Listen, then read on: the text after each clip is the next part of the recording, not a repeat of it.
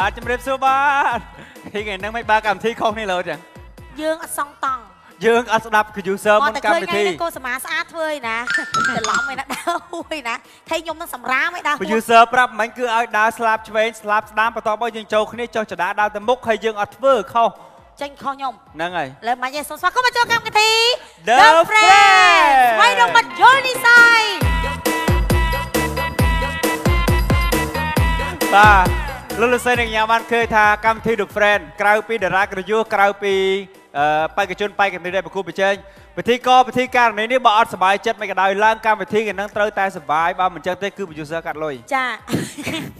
ជាពិសេសយើងអឺបានទស្សនាជាមួយតារាកិត្តិយសទាំង14រូបដែលគាត់មានសមត្ថភាពខ្ពស់ในការដាក់បន្ទុកបាទជាពិសេសគឺគាត់ស្វែងរកអ្វីដែលជាគន្លឹះថ្មីថ្មីទៅបេក្ខជនសម្រាប់បេក្ខជនដែលមកប្រឡងផងដែរនេះគឺជាកម្មវិធី game ប្រគួតប្រជែងដែលយើងបានអញ្ជើញបេក្ខជននិងបេក្ខនារីមួយចំនួនគាត់ក៏បានអឺដាក់ពាក្យតាក់ទងតាមរយៈ Facebook page របស់យើងដើម្បីចង់ចូលរួមលេងទទួលបានបទពិសោធន៍ថ្មីថ្មីៗហើយយើងបានធ្វើឲ្យមនុស្សច្រើនអ្នកដែលគាត់អត់ស្គាល់គ្នាគាត់បានឡើងមកលើវេទិកាបានសើចសប្បាយលេងជាមួយគ្នាហើយគាត់បានបង្កើតមិត្តភាពចំណងមិត្តភាពថ្មីការរាប់អានមិត្តភ័ក្តិថ្មីថ្មីៗផងដែរចាបាគីទគីគ្រាន់តែចំណងមិត្តភាពហើយគឺគាត់គ្រាន់តែឆ្លើយសំណួរគឺនឹងទទួលបានទឹកប្រាក់ពីកម្មវិធី6មួយលាលាននរៀរៀលលអូ លោកលោកស្រីនិងកញ្ញាមុននឹងជួបទស្សនាជាមួយនឹងការប្រកួតប្រជែងរបស់បេក្ខជនដែលចូលរួមប្រកួតនៅក្នុងសប្តាហ៍នេះពីកម្មវិធីរបស់យើងសូមថ្លែងអំណរគុណម្ចាស់ឧបត្ថម្ភនៃកម្មវិធីសេចក្តីជូនដំណឹងក្រុមហ៊ុនពេជ្រពើកម្លាំងខារ៉ាបាវសូមប្រកាសជូនដំណឹងដល់អតិថិជន អ្នកទិញលក់និងពិសាខារ៉ាបាវទាំងអស់ឲ្យបានជ្រាបថាថ្មីថ្មីនេះមានជនខិលខូចមួយចំនួនបានប្រើប្រាស់ភ័យរបស់ខ្លួនបង្ហោះលើទំព័រ Facebook ហូបពីការពិតទៅលើផលិតផលខារ៉ាបាវហើយក្រុមហ៊ុនកំពុងឲ្យសមត្ថកិច្ចចាត់វិធានការតាមរោគជនដែលបានបង្ហោះនោះមកដោះស្រាយទៅតាមផ្លូវច្បាប់ជាបន្ទាន់ហើយ ចំពោះភ័យរបស់ជនខិលខូចណាដែលនៅតែបន្តផុសដោយគ្មានការអនុញ្ញាតពីក្រុមហ៊ុនដោយអះអាងខុសពីការពិតគឺក្រុមហ៊ុននឹងចាត់វិធានការទៅតាមផ្លូវច្បាប់និងឲ្យសងរាល់ការខូចខាតរបស់ក្រុមហ៊ុនក្រុមហ៊ុន Carabao សូមធានាអះអាងចំពោះអតិថិជនទូទាំងប្រទេសឲ្យបានជ្រាបថា Carabao ដែលមានអក្សរខ្មែរនៅលើសម្បកកំប៉ុងឬសម្បកកេសគឺជាផលិតផលស្របច្បាប់របស់ក្រុមហ៊ុននិងមានរង្វាន់រាល់ចំណុចពិសេសនិងសញ្ញាសម្គាល់ផ្សេងៗដែលខុសគ្នានោះគឺជាសញ្ញាសម្គាល់របស់រោងចក្រទេអាស្រ័យហេតុនេះសូមបងប្អូនទាំងអស់ក៏មានការសរពេចសពិលឬភ័ន្តច្រឡំបន្តទៀតមហារង្វាន់ខារ៉ាបាវចាប់ផ្ដើមហើយចាប់ពីថ្ងៃទី1ខែមករាឆ្នាំ2019នេះតទៅខារ៉ាបាវចែករង្វាន់ច្រើនជាងមុនធំជាងមុននិងអស្ចារ្យជាងមុនទឹកប្រាក់100លានរៀល60រង្វាន់ម៉ូតូ Honda Dream 60គ្រឿងទូរស័ព្ទដៃ iPhone 8 60គ្រឿងនិងខារ៉ាបាវរាប់លានកំប៉ុងថែមទៀតផងអ្នកតាំងស្អាតចំនួន5នាក់នឹងទទួលបាន1លានរៀលភ្លាមភ្លាមៗនៅពេលដែលក្រុមការងារចុះទៅដល់កន្លែងលក់ខារ៉ាបាវជួយកែប្រែជីវិតរបស់លោកអ្នកឲ្យក្លាយជាមហាសេដ្ឋីភ្លាមភ្លាមៗខារ៉ាបាវអ្នកតស៊ូដ៏អស្ចារ្យព័ត៌មានលម្អិតសូមចូលមើលនៅក្នុង page Carabao Cambodia មានទាំងអស់គ្នាទូទាំងភពផែនដីរង្វាន់ដ៏ចាស់អស្ចារ្យនឹងជាប្រវត្តិសាស្ត្ររបស់តៃបេតងលេខ1អ៊ីឈីតានរដូវកាលទី3បានចាប់ផ្ដើមហើយលុយសុទ្ធ100លានរៀល70រង្វាន់ម៉ូតូ Scorpio i 70គ្រឿងទូរស័ព្ទ iPhone XS 70គ្រឿងនិងរង្វាន់អ៊ីឈីតានរាប់លានដប់ថែមទៀតផងសម្រាប់អ្នកលក់ដែលមានអតិថិជនត្រូវរង្វាន់100លានរៀលពីអ៊ីឈីតានក៏ទទួលបានលុយសុទ្ធ3លានរៀលផងដែរអ៊ីឈីតានចែកពិតចែកលឿនចែកដល់ផ្ទះរបស់លោកអ្នកគម្របអ៊ីឈីតានផ្លាស់ប្ដូរជីវិតរបស់លោកអ្នក ទឹកត្រចៀកកាមាសដបកំប៉ោងផ្ដល់នូវសុខភាពដ៏ខ្លាំងក្លារីកូឡាសៀងភៀវត្រាតពេជួយបានមួយផ្ទះកក់ក្ដៅទាំងគ្រួសារណាំដុសធ្មេញឱសថបុរាណដបប៊ូខូផ្កាឈូពីរ Mistin my choice my passion ត្រីខសញ្ញាមកុដជាជំរឿសថ្មីសម្រាប់ស្ត្រីមេផ្ទះគ្រប់រូបបាទលោកលោកស្រីនិងកញ្ញាគទីគោរពតារាក្រយុះទាំង14រូបតែងតែមានវត្តមាននៅក្នុងកម្មវិធីរបស់យើងក្រៅពីស្រស់ស្អាតឆ្លាតប៉ាកែគឺគាត់គឺជាផ្នែកមួយនៃការផ្ដល់បន្ទុកនិងជំរុញឲ្យបេក្ខជនទៅកាន់វគ្គចុងក្រោយបានគឺអាស្រ័យលើការវោតរបស់ពួកគាត់អូខេឥឡូវកុំឲ្យលោកលោកស្រីអ្នកនាងកញ្ញារងចាំយូរសូមទស្សនាជាមួយនឹងវីដេអូឃ្លីបរបស់ពួកគាត់ដូចតទៅ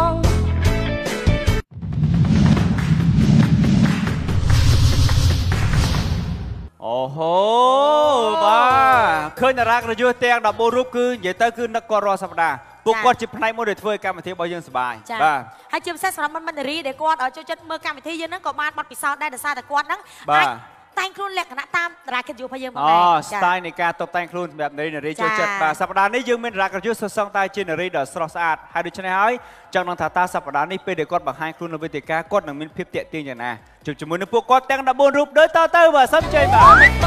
ទ បងដឹងអូនចូល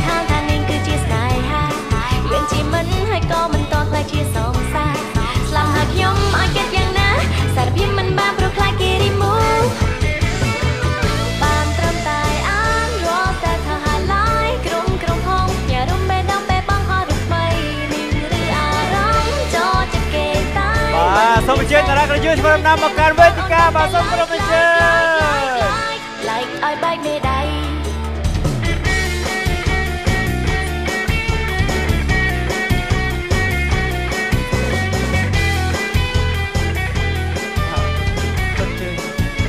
អូឈ្មោះត្រូវណាអូគេថាអូដេញអូត្រូវអត់ទោះអត់ទោះ មើលទៅអូនដូចមមាញឹកខ្លាំងណាបាទការងារអូនជំនួយការឯងអត់ទេខ្លាចចូលខុសឈ្មោះនេះមាញឹកឯងអូនវគ្គប្រុសប្រុសដោយមានអូនឯងមាញឹកចឹងសោះអីនេះបាទអរគុណជំរាបសួរតារាក្រយុទ្ធទាំង14រូបបាទអូសុខសប្បាយចិត្តទេចាបាទអត់ទេសុំសុំសុំឲ្យស្រុកគ្នាទាំងអស់គ្នាសុខសប្បាយចិត្តទេចាអូយដូចសាឡាមតីបាទអរគុណមេដាកញ្ញាលីដាសម្រាប់ថ្ងៃនេះបាទបានចូលរួមជាមួយកម្មវិធីរបស់យើងបាទ ចាសម្រាប់អ្នកខ្ញុំថ្ងៃនេះមានអារម្មណ៍ថារំភើព្រីរាយមែនតើបងចាបាទហើយនិយាយទៅសប្តាហ៍ពីសប្តាហ៍ទី1រហូតមកដល់សប្តាហ៍នេះគឺមានអ្វីដែលប្លែកប្លែកៗចាហើយសប្បាយរីករាយទាំងអស់គ្នាតែម្ដងចា បាទអរគុណចាបាទទេពីទេពីទៅពេលនេះពេលដែលបានជុំនារីនារីភិកច្រើនជួបគ្នានៅ backstage ជួយចិត្តធ្វើអីជាងគេស្រីស្រីជួបគ្នាពេលដែលជួបគ្នាចូលចិត្តនិយាយបាទចានិយាយឲ្យពិភាក្សាពីវិធីក ភិបពិធីកណាមិនពិធីការនេះឯងចាទាំងពីរពិភាហ្នឹងប្រភេទទំហំឬក៏យ៉ាងម៉េចដែរអឺនិយាយទៅពិភាក្សាពីអតចរិតថាគួរធ្វើការមួយទៀតអត់អូបាទក្រោយពីការវិភាគមកឃើញចាគួរឲ្យស្រឡាញ់បាទប្រើការវិភាគមកឃើញចរិតខុសស្មាមិនដែរអឺចរិតកោសមៈនៅតែគួរឲ្យស្រឡាញ់ដូចដើមគ្រាន់ថារៀងអឺចាបាក់រាប់អានគ្នាតិចហ៎ហើយបើគួរស្រឡាញ់មិនមិនចង់ជួបរាប់អាន អឺដោយសារកោសមៈជាចិត្តសរសើរខ្លួនឯងជាសរសើរអ្នកដតីអ្នកសារគេខ្លះថ្ងៃក្រោយខុសកុំហើយទេពីទេពីនិយាយពីនេះខុសហើយកុសមាដែរតែសើខ្លួនឯងទេជួយចិត្តតែសើអ្នកដតីឲ្យបង្អាប់ខ្លួនឯងមែននិយាយទៅគ្នាមែននេះសុខចិត្តរងគេថាហៅថារងគ្រោះដោយខ្លួនឯងសពបែបយ៉ាងថ្មបាក់សពបែបយ៉ាងតែកុដើម្បីសមាសុខចិត្តទៅទិញអឺសូនដីឥដ្ឋដើម្បីធ្វើគ្រូធ្វើគ្រូវិញអ្នកណាដែលផ្អាប់ខ្ញុំនិយាយលេងទេបាទចាអរគុណអរគុអណនុញ្ញាតអង្គុយបានចាអង្គុយ អង្គុយបានចាគេអត់ឲ្យអង្គុយទេគេលេងឲ្យអង្គុយហើយអរគុណចាស់លោកលោកសិននៃកញ្ញានៅក្នុងពេលបន្តិចនេះលោកអ្នកនៅបានជ្រាបថាតើបេក្ខជននៅក្នុងសប្តាហ៍នេះជាអ្នកណាថាតើគាត់មានសមត្ថភាពយ៉ាងណាជួបជាមួយនឹងបេក្ខជនទី1ដូចតទៅបាទសូមគោរពអញ្ជើញបាទបាទជម្រាបសួរខ្ញុំឈ្មោះដាវីតរិទ្ធិរុតអ្នកខ្លះស្គាល់ថាជារុតគោស្រុកកណ្ដាលនៅបាត់ដំបងហើយសប្តាហ៍ថ្ងៃនេះខ្ញុំនៅភ្នំពេញបាទនៅចាក់ថ្ងៃក្រមហើយអឺខ្ញុំនិយាយទៅចំណងចំណូលចិត្តចូលចិត្តខាង rap អឺបាទពួកអីអឺមើលទៅខាងហ្នឹងវាជាវិស័យមួយដែលនៅខ្មែរដូចថាវាមិនទាន់រីកអឺរំកើនខ្លាំងអញ្ចឹងហើយបាទខ្ញុំក៏ចង់រួមចំណែកធ្វើឲ្យវិស័យ rap រីកចម្រើននៅប្រទេសខ្មែរផងបាទហើយអឺពេលតនេពេលអីចឹងខ្ញុំចូលចិត្តមើលវីដេអូក្នុង YouTube វីដេអូ rap វីដេអូអីចឹងដើម្បីបានជា style ថ្មីថ្មីឬក៏យក style អ្នកនេះបូកអ្នកនេះបូកអ្នកនេះឲ្យតិចតិចបានជា style ថ្មីមួយទៀតបាទអូហូបាទ អរគុណណាស់លោកអ្នកបានឃើញហើយវត្តមានរបស់បេក្ខជនទី1គឺជាតារា rap និងជាតារា Facebook ដែលល្បីដែរបាទអរគុណចង់ជួបចាគាត់អឥត់ឡូវនេះកុំឲ្យកាត់ពេលយើងសូមជួយជាមួយនឹងគាត់ដូចតទៅសូមអញ្ជើញបាទយ៉ាជំរាបសួរបាទបាទសួរអូយជំរាបសួរបងបាទមុខដូចធ្លាប់ស្គាល់បងសុខសប្បាយចិត្តទេសុកបងសុកសុកចាអូនិយាយទៅអឺផ្ទះខ្ញុំនៅម្ដុំអឺគីឡូ6ដែរតាបាទចាមកយូរអាមកយូរហើយបងចាតាំងម្សិលមិញ ចាបាទមកម្សិលមិញទៅអីអូមកជួយរៀបឆាកមែនអូបាទយនិយាយទៅស្អាតហើយចរិតវាជួយរៀបឆាកទៀតអូខេឥឡូវចាំចង់ជួយជាមួយនឹងដៃគូប្រកួតប្រជែងមួយអត់បាទបាទបងចាឥឡូវកុំឲ្យខាតពេលយើងសូមរីករាយទស្សនាដូចតទៅចាបាទជំរាបសួរបាទខ្ញុំបាទឈ្មោះពៅហេងវីរៈបុត្រាហើយអឺខ្ញុំបាទមានអាយុ26ឆ្នាំហើយស្រុកកំណើតរបស់ខ្ញុំគឺនៅខេត្តបៃលិន ហើយទីលំនៅសប្តាហ៍ខ្ញុំនៅទីក្រុងភ្នំពេញអឺសប្តាហ៍អាជីពរបស់ខ្ញុំគឺជាតារាចម្រៀងនៅក្នុងផាប់មួយកន្លែងហើយអឺ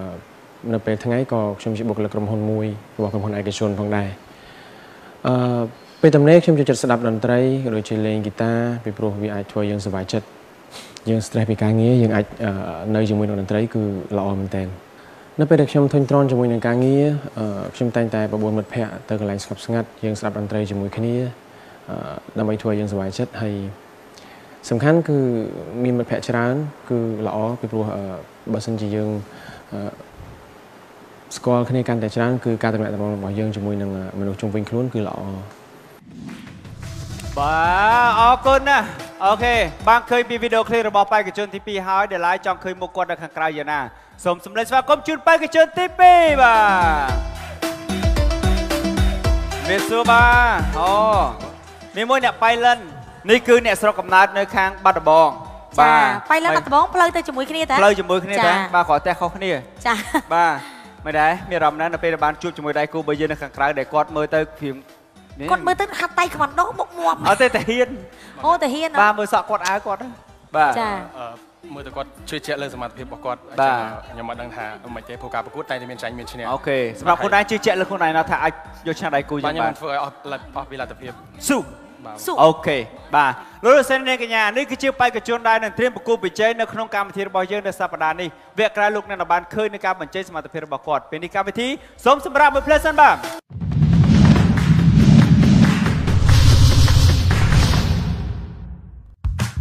ចានជាប្រវត្តិសាស្ត្ររបស់តៃបៃតងលេខ1អ៊ីជីតានរដូវកាលទី3បានចាប់ផ្ដើមហើយលុយសុត100លានរៀល70រង្វាន់ម៉ូតូ Scorpio i 70គ្រឿងទូរស័ព្ទ iPhone XS 70គ្រឿងនិងរង្វាន់អ៊ីជីតានរាប់លានដប់ថែមទៀតផងសម្រាប់អ្នកលក់ដែលមានអតិថិជនទៅរង្វាន់100លានរៀលពីអ៊ីជីតានក៏ទទួលបានលុយសុត3លានរៀលផងដែរអ៊ីជីតានចែកពិតចែកលឿនចែកដល់ផ្ទះរបស់លោកអ្នកគម្របអ៊ីជីតានផ្លាស់ប្ដូរជីវិតរបស់លោកអ្នក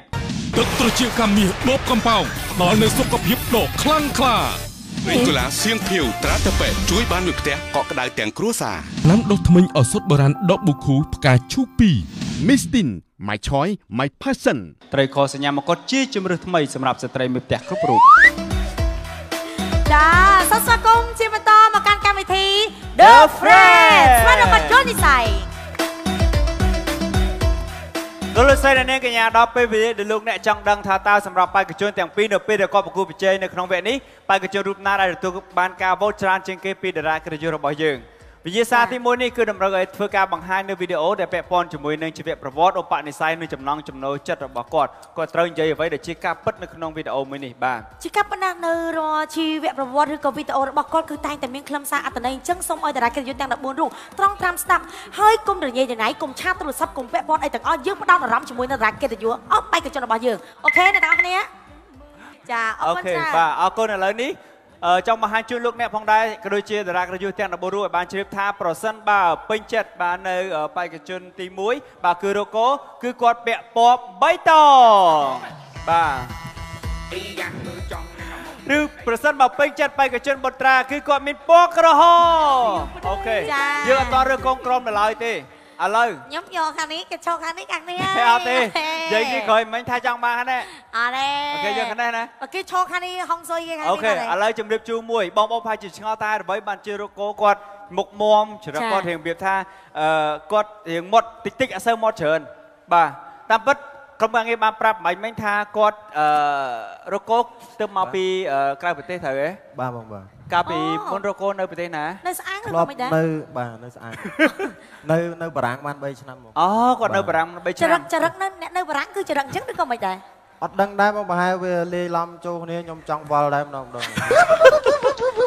បាទអឺអត់ទេតែតែតែទៅណាគេវាយហ៎តែដែរទៅបងដែរសួរពីរដងអាមុនគេអត់ថតឥឡូវសួរពេលថតបាទវាយចាមកវាយមូលហេតុអីមកគេវាយយើងធ្វើមុខឌឺដល់គេអ្វី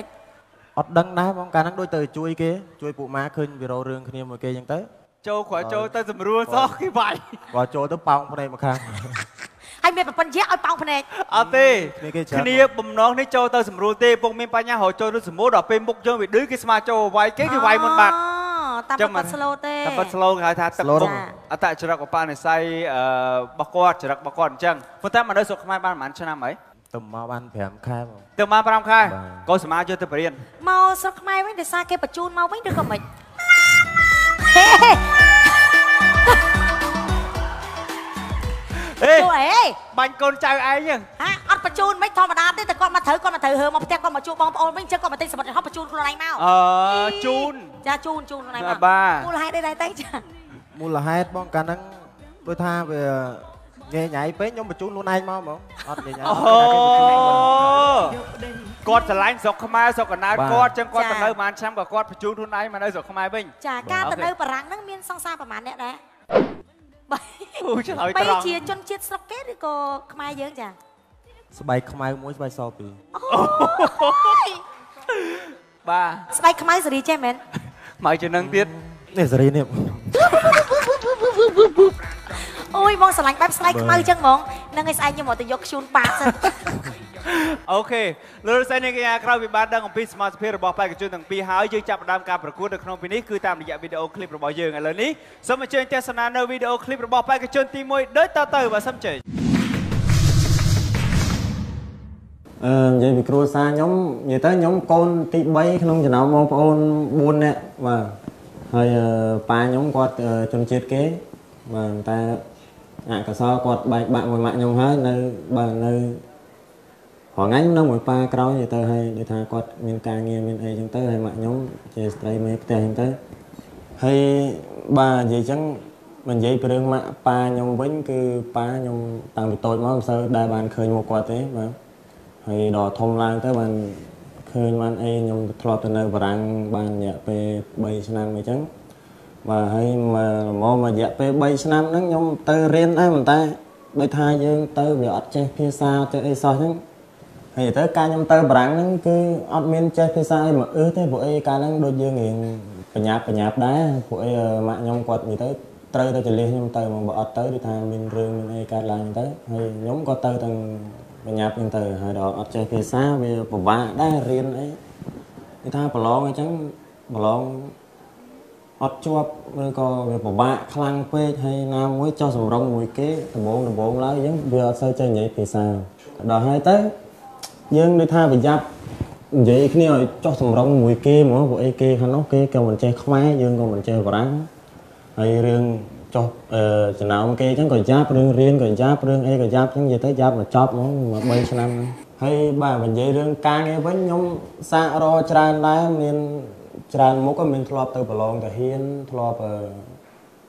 កាលនេះដូចថាចង់ធ្វើការមួយសัตว์ពស់អីខ្ញុំទៅចិត្តសัตว์ពស់អញ្ចឹងមកដាក់ធ្វើការធ្វើអីអញ្ចឹងទៅវាអត់ជាប់ចូលប្រឡងធ្វើការនោះវាអត់ជាប់ហើយខ្ញុំក៏អន់ចិត្តដែរនៅពេលប្រឡងអត់ជាប់អញ្ចឹងធ្វើម៉េចយើងវាទៅវាយឺតជាងគេជាងអាចអញ្ចឹងហ្នឹង ឌីប្លូមក៏គ្មានបាក់ឌុបក៏គ្មានស្អីក៏គ្មានបាទហើយដល់ប្រឡងការងារទាំងពីរហ្នឹងហើយតាហ៊ានពោះហ្នឹងអត់បានទៀតខ្ញុំកើតຕົកមិនសុខចិត្តទៅប្រឡងរៀនធ្វើកញ្ចក់ទៀតបាទ ធ្លាប់ធ្វើកញ្ចក់ធ្វើអីចឹងទៅបានរយៈពេល3ខែកាលហ្នឹងនៅស្វីចេញពីបារាំងទៅទៅស្វីបាន3ខែធ្វើកញ្ចក់ធ្វើកញ្ចក់អត់កើតកន្លែងតែញ៉ៃញ៉ៃមួយមេឆ្លុះគ្នាមួយមេឥឡូវមកខ្មែរវិញឡើយបាទហើយដល់ឥឡូវមកខ្មែរអញ្ចឹងទៅកទីកទើកទីអីមិនដឹងធ្វើអីណាណីទេតែបានជាអរគុណខ្លួនឯងមួយដែរដែលបន្សល់ទុកមួយគឺថាកាដូតូចមួយការខ្ញុំបានធ្លាប់ធ្វើវីដេអូប្លែកអីចឹងបានគេស្គាល់គេហៅអីចឹងដែរបាទ ហើយអញ្ចឹងមកខ្មែរនេះខ្ញុំគិតធ្វើចង់ធ្វើការងារណាដែលសុបាយការងារដែលខ្ញុំចង់ធ្វើដែលខ្ញុំចូលចិត្តការងារខ្ញុំអត់ចូលចិត្តខ្ញុំអត់ធ្វើទេអញ្ចឹងគឺថាបាទហើយរាល់ថ្ងៃនេះគឺបានហើយអាជីពក្នុងក្តីសម័យគឺអ្នករ៉េបបាទបានចាប់អាជីពជាអ្នករ៉េបហ្នឹងទៅបើមិនជឿទេខ្ញុំរ៉េបឲ្យមើលក៏បានដែរបាទឥឡូវជឿអត់ អូយខ្ញុំមានអារម្មណ៍ថាឈឺក្បាលសង្វឹងខ្លាំងហើយប្រាប់ថាកំតនអាកំតនចាក់ដាក់តែប្រូវីតិចប្រូវីស្រាននៅទាំង10បណ្ដោយមកយើងជុំគ្នាម្ដងមកកាំងខូចចកផឹកសបាយចកផឹកអបអរសាទរខ្ញុំចោលឈ្មោះជាអ្នកប្រមឹកកាប់ពីមុនខ្ញុំប្រន់តែប្រាប់ថាផឹកសាហាវជាងឥឡូវដេកទាំងបើកផ្នែកដល់នឹងឡើងត្រង់ផ្លូវពេលដែលជួបរំលឹកខ្ញុំដេកឡើងដូចឡើងឋានសួគ៌ងើបពីព្រលឹមឲ្យឡើងចង់កឡោគួរនិយាយម្នាក់ឯងខ្ញុំបានដាក់ជាសំណួរឯងធ្វើល្មិចមិនមកដល់ផ្ទះគ្រាន់តែចង់សួរខ្ញុំជាអ្នករបាទ អីបាទនិយាយពីរឿងពួកម៉ាក់វិញគឺខ្ញុំចូលចិត្តពួកម៉ាក់ណាដែលដូចថានៅជាមួយវាគឺសប្បាយរហូតបណ្ដោយគឺវាធ្វើឲ្យយើងសប្បាយទោះបីអត់មានអីត្រូវសើចក៏សើចបានអញ្ចឹងណាបាទហើយដូចថាពួកម៉ាក់ដែលអត់ប្រកាន់ផ្ទះខ្វាគ្នាវាយគ្នាអីបានអញ្ចឹងទៅណាទៅណីអីជាមួយគ្នាគឺគិតទៅពីសប្បាយហ្មងហើយក៏អាចជួយរំលែកទុកនៅពេលដែលខ្ញុំមានទុកបានដែរបាទប៉ុន្តែគាត់ថា ពេលខ្ញុំកើតទុកអីចឹងវាអាចធ្វើឲ្យខ្ញុំទៅជាសុបាយវិញបានបាទគឺពួកម៉ារបៀបហ្នឹង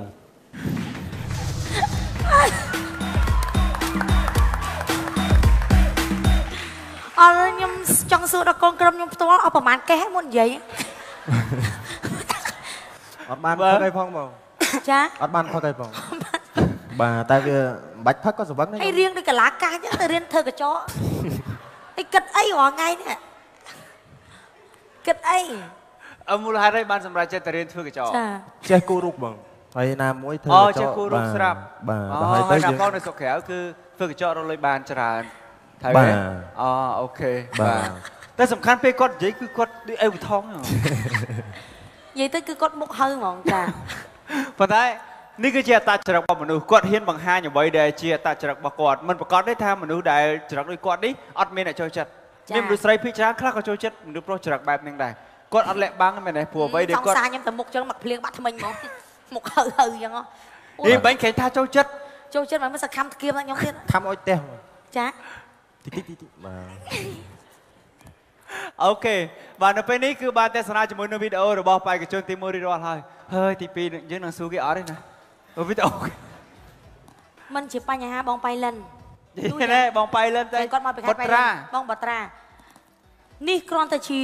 ទឹកមុខគាត់យើងមិនដឹងថាហុងស៊ុយអត់ទេតែខ្ញុំ support មួយថ្ងៃបងអត់នៅសន្ទុកជុំថ្ងៃហ្នឹងខ្ញុំ support កូនក្រុមខ្ញុំអូខេបាទសូមអញ្ជើញទស្សនាវីដេអូរបស់បេក្ខជនទី2ដោយតទៅបាទសូមអញ្ជើញអឺខ្ញុំបាទជាកូនប្រុសពៅនៅក្នុងចំណោមបងប្អូនប្រុស3នាក់នៅក្នុងគ្រួសារមួយហើយអឺកាលពីតូចខ្ញុំរៀននៅអឺសាលាបឋមសិក្សាអូតពុកនៅក្នុងខេត្តបៃលិនហើយ វិទ្យាល័យគឺរៀននៅនឹងដដែលអឺជីវិតនៅក្នុងគ្រួសារកសិករគឺលំបាកពីព្រោះលោកប៉ែណាម៉ាក់របស់ខ្ញុំគាត់អឺជាកសិករហើយត្រូវពុតកូនកូនរៀន3នាក់ប៉ុន្តែអឺក្នុងលទ្ធភាពជាកូនពៅគេគឺរៀងរឹកតិចអឺនៅពេលដែលបងបងថាឲ្យគឺយើងអត់ខ្លាចគាត់ទេបាទព្រោះយើងអាងតែយើងអឺកូនពៅហើយអឺប៉ាម៉ាក់ស្រឡាញ់យើងខ្លាំងជាង អឺនៅពេលដែលធំដឹងក្តីខ្ញុំបានឡើងមករៀននៅទីក្រុងភ្នំពេញបាទខ្ញុំបានចប់អឺវិទ្យាល័យពីអឺខេត្តបៃលិនមកគឺខ្ញុំឡើងមករៀនតនៅភ្នំពេញហើយដោយសារជីវភាពខ្វះខាតបាទខ្ញុំបានសម្រេចចិត្តបាទព្យួរការសិក្សាចោលនៅឆ្នាំទី2នៅក្នុងសាកលវិទ្យាល័យដើម្បីមកធ្វើការរកប្រាក់ចំណូលបន្ថែមអឺសម្រាប់ការងារជាអ្នកសិល្បៈ ដំបូងឡើយគឺវាពិបាកសម្រាប់ខ្ញុំពីព្រោះអឺវាជាលើកដំបូងក្នុងការចាប់ផ្ដើមហើយខ្ញុំព្យាយាមធ្វើវារហូតមកដល់ពេលនេះអឺបានជោគជ័យក្រាន់បើអឺព្រោះបានស្គាល់បងបងសិល្បៈចំនួនមុនក៏ដូចជាមានមិត្តភ័ក្តិជាអ្នកសិល្បៈច្រើនអឺហើយយើងតស៊ូទៅមុខទៀតដើម្បីឲ្យជោគជ័យក្នុងអាជីពសិល្បៈទោះជាលំបាកយ៉ាងណាក៏ដោយអឺខ្ញុំមានមិត្តភ័ក្តិច្រើន មានអឺមិត្តភ័ក្តិអឺ ជាអ្នកសិល្បៈក៏ដូចជាមិត្តភ័ក្តិនៅក្នុងមហាវិទ្យាល័យ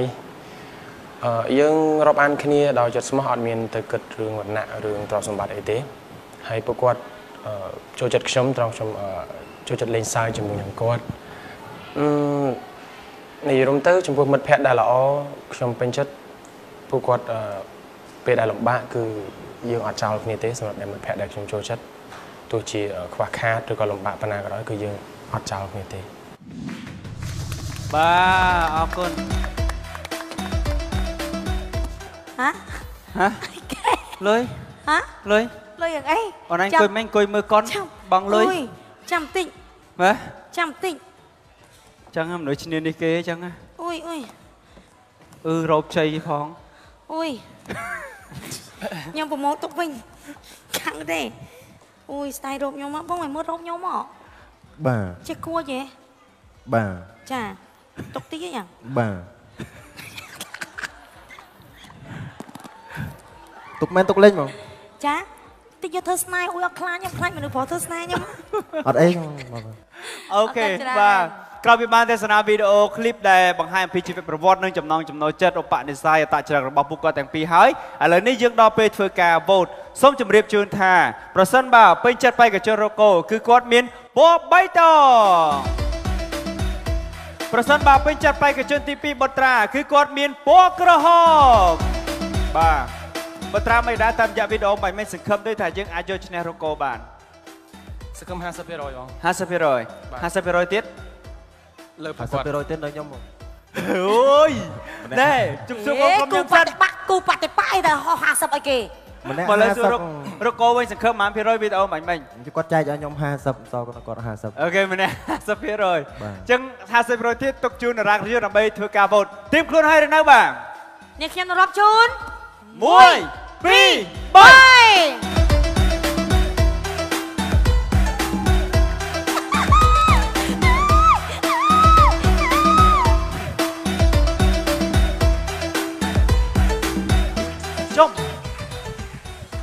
ខ្ញុំភ្នែកខ្ញុំមញោពណ៌មែនអត់មញោគេបងមើលច្បាស់ហ่ะខ្ញុំមើលពណ៌ក្រហមចេញពណ៌បៃតងចឹងបងមើលច្បាស់បងប្រយ័ត្នមញោប្រយ័ត្នបាទប្រយ័ត្នជុំម្ដាយបងហានេះពណ៌ក្រហមមែនហាភ្នែកបងមិនមែនធម្មតាបងទៅអង្ដួងឆាប់ទៅនេះពណ៌អី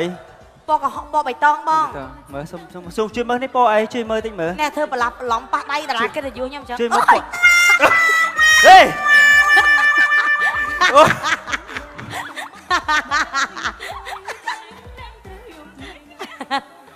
អូយមិនក៏យកអាកំបាំងតារាកិត្តិយសបងរីយ៉ាចឹងសុំតើសុំតើសុំតើអូយអាកំបាំងគាត់ទៅគឺនៅទីនេះហើយលោកអើយអូខេសំណួរសួរថាមូលហេតុអ្វីបានជាយើងដោះបាយជើងអឺនិយាយទៅគឺខ្ញុំចូលចិត្តសម្រស់ធម្មជាតិចង់បញ្ជាក់ថានេះជាកម្ពស់កម្ពស់ស៊ីចាជុំមើលមើលសុំមើលទីមើលជុំថ្ងៃហ្នឹងរាកយល់មិនចឹងមើលសុំម្នាក់មើលហឹមមើលមើលមិនចឹង អូយលោកហើយលោកប្រវត្តិសាស្ត្រលើកទី1ឡើងកម្មវិធីទិសទួពាក់បាយជើងទាត់អូយហើយកម្មវិធីគេឡើងល្បីពាក់ជើងទាត់អូយអត់ទេគេនឹងសំដៅឆែកតារាកយូមួយសិនមុនប្រកាសលទ្ធផលនេះមួយទៀតហើយដោះបាយជើងអត់ទេគេនឹងធ្វើបាបតារាកយូមួយសិនអឺរៀតអីទេ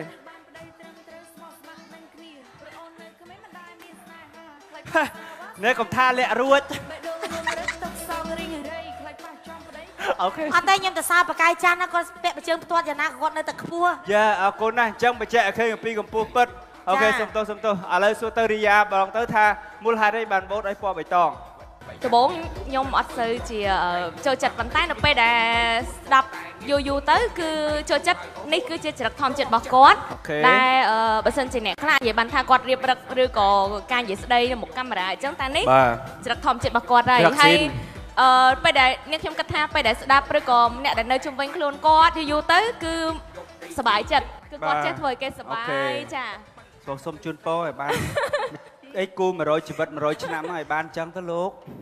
បាទអូខេទី2មូលហេតុអ្វីបានជាយើងហៅថាកសែភ្នែកមុតយើងចុចយកពណ៌ក្រហម អឺដោយសារតែអឺបងប្រុសខាងក្រហមហ្នឹងពេលដែលគាត់អឺការនិយាយស្ដីគាត់ចេញមករៀងមូសមុតមូសមុតទីទី1 1ទី2អូនស្ដាប់ឲ្យច្បាស់អូនត្រង់ប្រាប់មុតហ្នឹងកាលពីមុនគាត់ធ្លាប់អឺដើរស្នៀងកបិតគាត់ជឹកគាត់មុះមុតចាបាទចរិតចរិតចរិតមូសមុតចជារិតកុសមាមូសមុតបាទចាអឺគាត់មានការមូសមុតទី2ហ្នឹងគឺគាត់អឺមានការព្យាយាមនឹងតស៊ូជាមួយនឹងការងារសិល្បៈអូខេបាទអរគុណណាស់ នេះគេហៅថាអ្នកចេះ10មិនស្មើអ្នកប្រសពមួយការសម្លឹងឃើញវែងឆ្ងាយមានអនាគតល្អអូន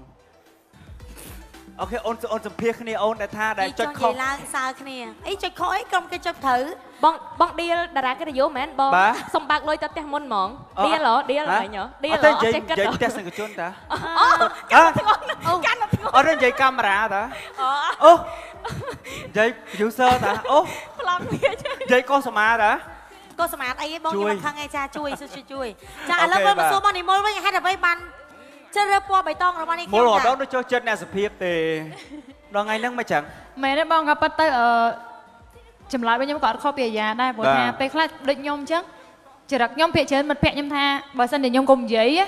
គេស្រឡាញ់វិញតែបើខ្ញុំនិយាយគេអត់ស្រឡាញ់ទេព្រោះចរិតធម្មជាតិរបស់ខ្ញុំនិយាយមួយមនុស្សផុសក៏អញ្ចឹងនិយាយមួយមនុស្សស្រីក៏អញ្ចឹងអញ្ចឹងខ្ញុំស្រឡឹងឃើញគាត់ចរិតស្តៀងខ្ញុំដែរព្រោះថាអត់អត់ខ្វល់ព្រោះថានេះគឺជាចរិតធម្មជាតិរបស់យើងគាត់ថាពេលខ្លះមុខរៀងហៅមែនប៉ុន្តែក៏អាចធ្វើឲ្យយើងសោចបានដែរចាបុត្រាអើយវគ្គក្រោយដូរយើងរៀងមើមើខ្លាំងទៅឥឡូវនេះខ្ញុំសូមបោកបន្ទុកចាសម្រាប់អឺពណ៌បៃតងរបស់នេះខ្ញុំទទួលបាន2 4 2 4 5 អូន10បន្ទុកអបអរសាទរក្រុមពណ៌ក្រហមទទួលបាន4ពិន្ទុអឺខាង DJ ចុចសលេងហូមួយទទួលបាន4ពិន្ទុអូយខ្ញុំតែឃើញពិធីកអីណាមកក្រាស់ចឹងទេលោកអើយមានឲ្យគេដាក់បញ្ចូលសម្លេងទៀតមិនច្រកឲ្យគេតសេអសរជោគជ័យទៀតហ្មងទៅឲ្យឲ្យសង្តយគឺរត់អសអរគុណចាំមិនជាបញ្ហាសម្រាប់ទៅតវគ្គទី1ទេសម្រាប់អ្នកទាំងពីរនៅមានការប្រកួតប្រជែងជាច្រើនទៀត អរគុណឥឡូវកម្មវិធីរបស់យើងសូមសម្រាប់មួយភ្លែសិនបាទ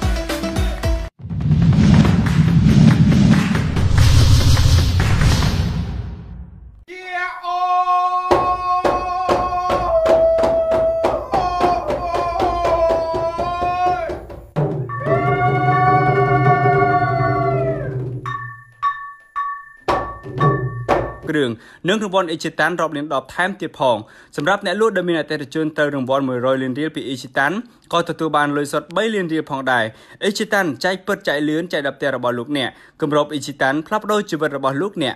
ទឹកត្រជាកាមាសដបកំប៉ោងផ្ដល់នូវសុខភាពដ៏ខ្លាំងក្លារេងកូឡាសៀងភៀវត្រាតាប៉េជួយបានមួយផ្ទះកក់ក្ដៅទាំងគ្រួសារថ្នាំដុសធ្មេញឱសថបុរាណដបប៊ូខូផ្កាឈូក2 Mistin my choice my passion ត្រីខសញ្ញាមកុដជាជំរើសថ្មីសម្រាប់ស្ត្រីមេផ្ទះគ្រប់រូបបាទស្វាគមន៍ប្រជុំនេះជាបន្តនៅក្នុងកម្មវិធី The Friend នៅក្នុងវគ្គនេះកម្មវិធីរបស់យើងនឹងផ្លាស់ប្ដូរការប្រគួតប្រជែងវិញ្ញាសានៅវគ្គនេះគឺតម្រូវឲ្យបេក្ខជនទាំងពីរបង្ហាញទេពកោសល្យនិង talent ដែលគាត់មានដើម្បីទាក់ទាញពិន្ទុពីតារាកិត្តិយសទាំង14រូបចង់ដឹងសមត្ថភាពពីអ្នកគាត់ ដូចម្ដេចអស្ចារ្យយ៉ាងណាសូមរីករាយស្នាដូចតទៅសូមអញ្ជើញបាទ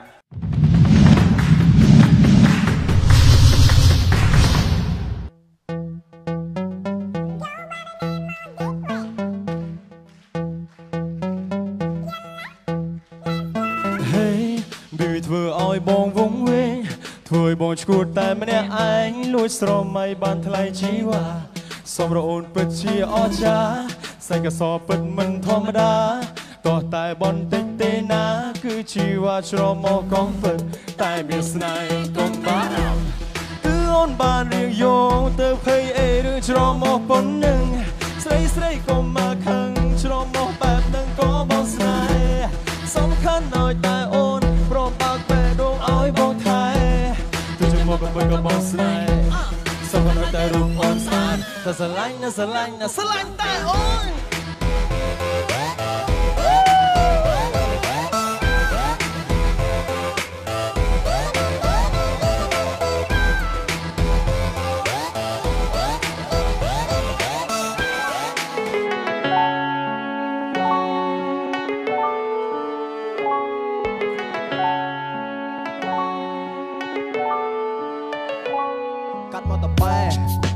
ឈ្មោះអាសម្រែដើរលេងមកករឿងធ្វើបានតែចិត្តម៉ែព្រោះតែខ្ញុំចិត្តសឿងកាត់នៅលើដីស្រែទីជាមួយនឹងសង្គមខូខើឡើងតស្លែជំតូចចិត្តជាមួយនឹងព្រំលិខិតចាមកត្រឡប់តលិនក្បាលប្រែទៅជាក្តិតធ្វើឲ្យខ្ញុំវងវែងនៅមិនស្ងប់មិនអស់ចិត្តហេតុអ្វីខ្ញុំកើតមកបកុងតែទៅភពងងឹតម៉ែចាំ មកផ្ទះគុណម៉ែចាំខ្ញុំនេះឡៃលពលពួកម៉ាក់3 4 5នាំគ្នាបង្ហុយផ្សែងដើម្បីឲ្យមានកម្លាំងរាល់ជុកទល់ភ្លឺរហូតដល់ម៉ោង5ចាំមិនភ្លេចឯខ្ញុំមិនដឹងធ្វើល្មិចខំប្រឹងណាស់តែតែនៅតែកក្រិចធ្វើចិត្តឲ្យសបាយតែទឹកភ្នែកជ្រិចជ្រិចកែខ្លួនបានសម្រេចគេមិនជឿគេថាល្បិចអ្នកខ្លះគេសើចគេថាខ្ញុំអាយុខើចវាមិនដែលម៉ែអ្នកណាខ្លាំងដល់មកលឹងឡើយគេថាខ្ញុំបិណ្ឌបោកខ្ញុំបិណ្ឌចាក់បដោយអ្នកមិនស្គាល់ជីវិតខ្ញុំមិនយ ល់អារម្មណ៍ខ្ញុំតែតែវាជារឿងធម្មតា សង្គមឆ្កែនឹងឆ្មាកើតមកមានគ្រោះថ្នាក់យមរាជបានចាខ្ញុំក៏មិនចង់ដែរតែបិសាចអូក្បាលធ្វើឲ្យខ្ញុំជួបវង្វេងនឹងភពងងឹតតណ្ហាឋានរੂខ្ញុំមើលឃើញស្អាតណាស់ធ្វើឲ្យខ្ញុំមានអារម្មណ៍ចង់យកដៃទៅប៉ះគោដុតមិនចង់ស៊ីតែលេមួកចង់ច្រាស់នៅក្មេងមិនព្រមស្ដាប់ចាស់ចាស់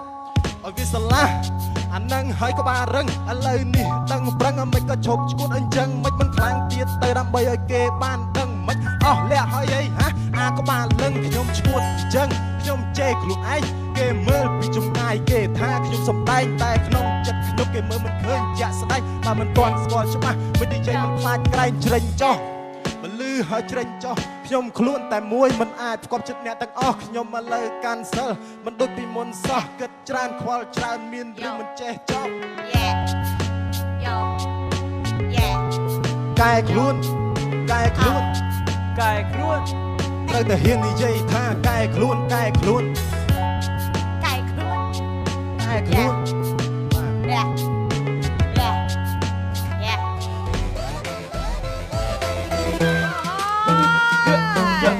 យកឆាប់ស្នាប់បែបរ៉ូមែនទិកមានរសជាតិផ្អែមពេលដែលបងបាននៅក្បែរស្រីបងនឹងអោបចរណៃអោបឲ្យពេញដៃបងនឹងឆ្វៃ know you want it so complex I need ya ជានារីដែលបងប្រាថ្នាចង់បានជីវិតជាម្ចាស់ចំណាំបងនឹងរក្សាមិនឲ្យតចិត្តពេលទីនាងគឺជាពីងពិនគឺបងប្រាប់ត្រង់បងមិនប្រដិនព្រោះបងយកពីចិត្តស្រីទូចមកកំពិតតែយរលភ័ក្រក្តីតែស្រឡាញ់ណាស់ស្រឡាញ់ណាស់ស្រឡាញ់តែអូន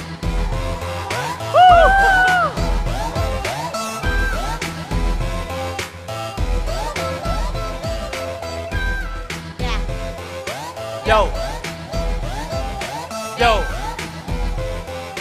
Yo Yo Yo Yo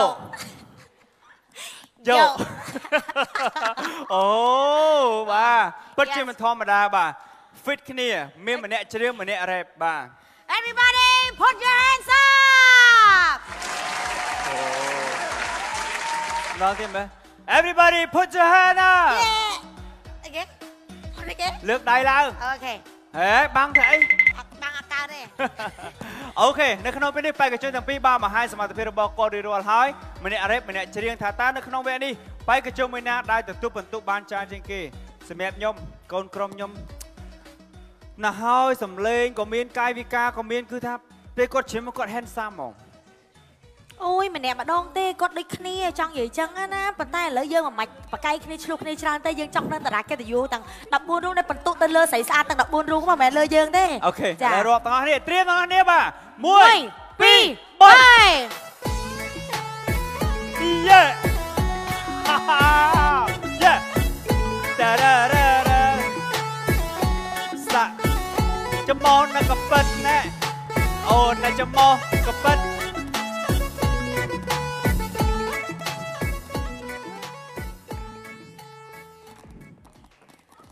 ហេកំដៅហើយរៀសួងរមុននឹងសួរឲ្យនៅនៅទេចានឹកឃើញមិនចុចពណ៌ក្រហមហេសួរតែឃើញមិនមិនសួរថារងថ្ងៃនេះដូចអត់មានមើល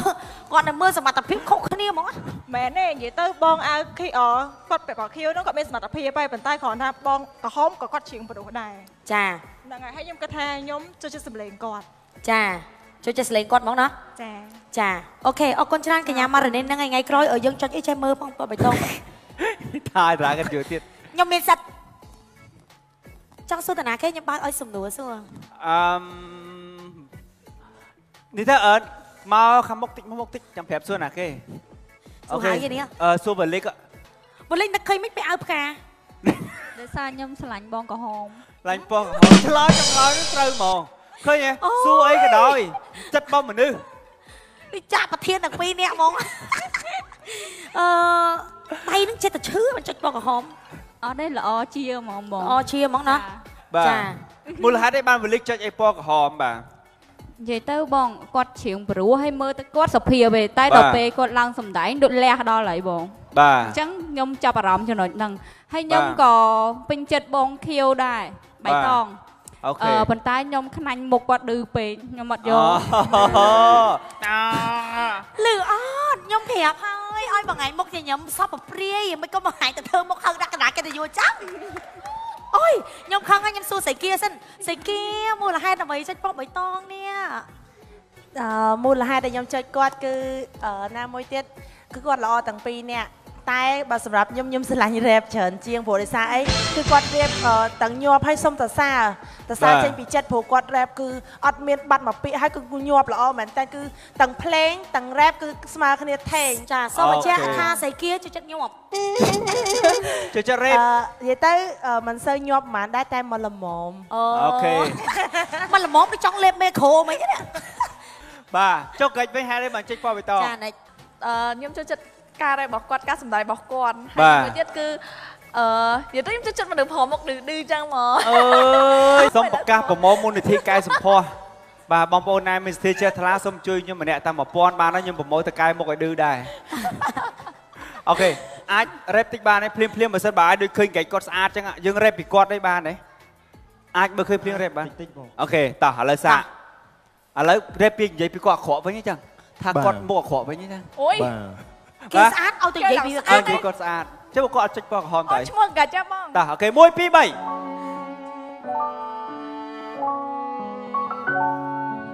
យ៉ាយ៉ាបែបនេះយ៉ាបាណា1 2 3 4 5 6 7 8មើលហើយខ្ញុំមានអារម្មណ៍ថាភ័យក៏ប៉ុន្តែវាមិនថ្មីពណ៌បៃតងមាន1 2 3 4 5 6បេះដូងរំជួយ សូមអរគុណដល់អ្នកដែលបានផ្ដល់ជាជំនួយបានផ្ដល់ជាបន្ទុកធ្វើឲ្យខ្ញុំយ៉ាបាទអត់ដឹងនិយាយស្អីទេព្រោះថាមាញ់ហ្នឹងខ្ញុំរត់នឹកមិនឃើញទេក៏ប៉ុន្តែឥឡូវនេះរត់នឹកឃើញវិញហើយខ្ញុំនឹងរ៉េបឲ្យដល់ក្រោយហើយក៏សូមអរគុណដល់ប៉ះបាយ័នដល់ប្រេងកាឡាតប៉ែខារ៉ាបាវ energy drink អត់មានលុយខ្ញុំអាចបាវផឹកខារ៉ាបាវបាន យោថែមលុយខារ៉ាបាវថែមលុយប៉ុន្តែក្រុមខ្ញុំអត់ដល់មានជាប់អត្តន័យខ្ញុំអត់មានកាច់អីសុំមិនអត់មានកំហងមិញលើហ្នឹងអឺសូមបញ្ជាក់ថាកូនក្រុមរបស់នាងខ្ញុំគឺឆ្លាតចានិយាយពី sponsor ចូលចាបានជួយឧបត្ថម្ភជាទឹកប្រាក់ទៀតអូយប៉ាកែមែនតើចាបាទអូខេនៅក្នុងនេះសូមអបអរសាទរដល់បេក្ខជនពណ៌ក្រហមដែលទទួលបានរហូតដល់8ពិន្ទុបាទអបអរសាទរហា ហើយហើយជិះក្រហមឈ្នះហ៎ខំហាអូនិយាយមួយថ្ងៃក្រហមឈ្នះក្រហមឈ្នះតោះបានតោះប្រកាសតោះបាទតម្លៃសម្រាប់ក្រុមដែលអត់ឈ្នះនៅក្នុងវគ្គនេះគឺពណ៌បៃតងទទួលបាន6ពិន្ទុបាទអបអរសាទរលោកស្រីអ្នកកញ្ញានៅក្នុងវគ្គក្រោយយើងនឹងធ្វើការប្រគល់ប្រជែងជាបន្តថាតើពួកគាត់ទាំងពីរអ្នកណាដែលអាចទទួលបានបន្ទុកច្រើននៅក្នុងវគ្គសំណួរចម្លើយនៅក្នុងវគ្គក្រោយនៅពេលនេះពីកម្មវិធីអនុញ្ញាតសម្រាប់បន្តិចសិនចាអេ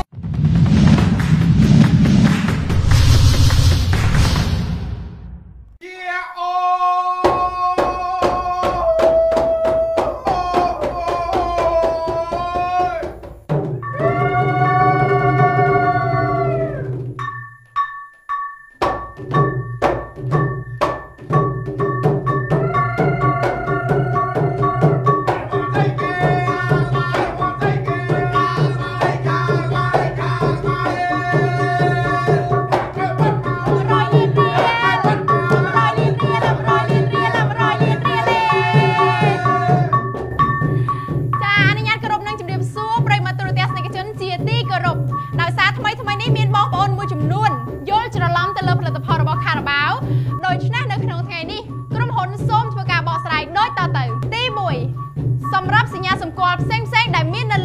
កកំប៉ុងខារ៉ាបាវដូចជា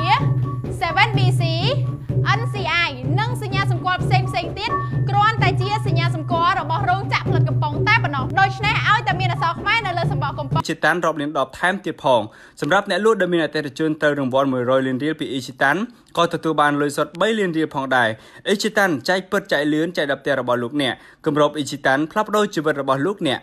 ទឹកត្រជាកាមាសដបកំប៉ោងផ្ដល់នូវសុខភាពដ៏ខ្លាំងក្លា លេងកីឡាសៀងភៀវត្រាតពេជួយបានមួយផ្ទះកក់ក្ដៅទាំងគ្រួសារណាំដុសធ្មេញឱសថបុរាណដបប៊ូខូផ្កាឈូក2 Mistin my choice my passion ត្រីខសញ្ញាមកុដជាជំរើសថ្មីសម្រាប់ស្ត្រីមេផ្ទះគ្រប់រូប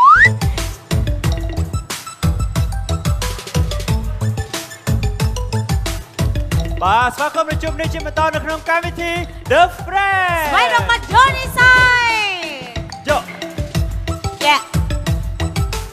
យក បាទលោកលោកស្រីអ្នកកញ្ញាឈានចូលដល់វគ្គនេះកម្មវិធីរបស់យើងនឹងផ្លាស់ប្ដូរវិញ្ញាសានៅក្នុងការប្រកួតគឺជាវិញ្ញាសាសំណួរចម្លើយយកបន្ទូ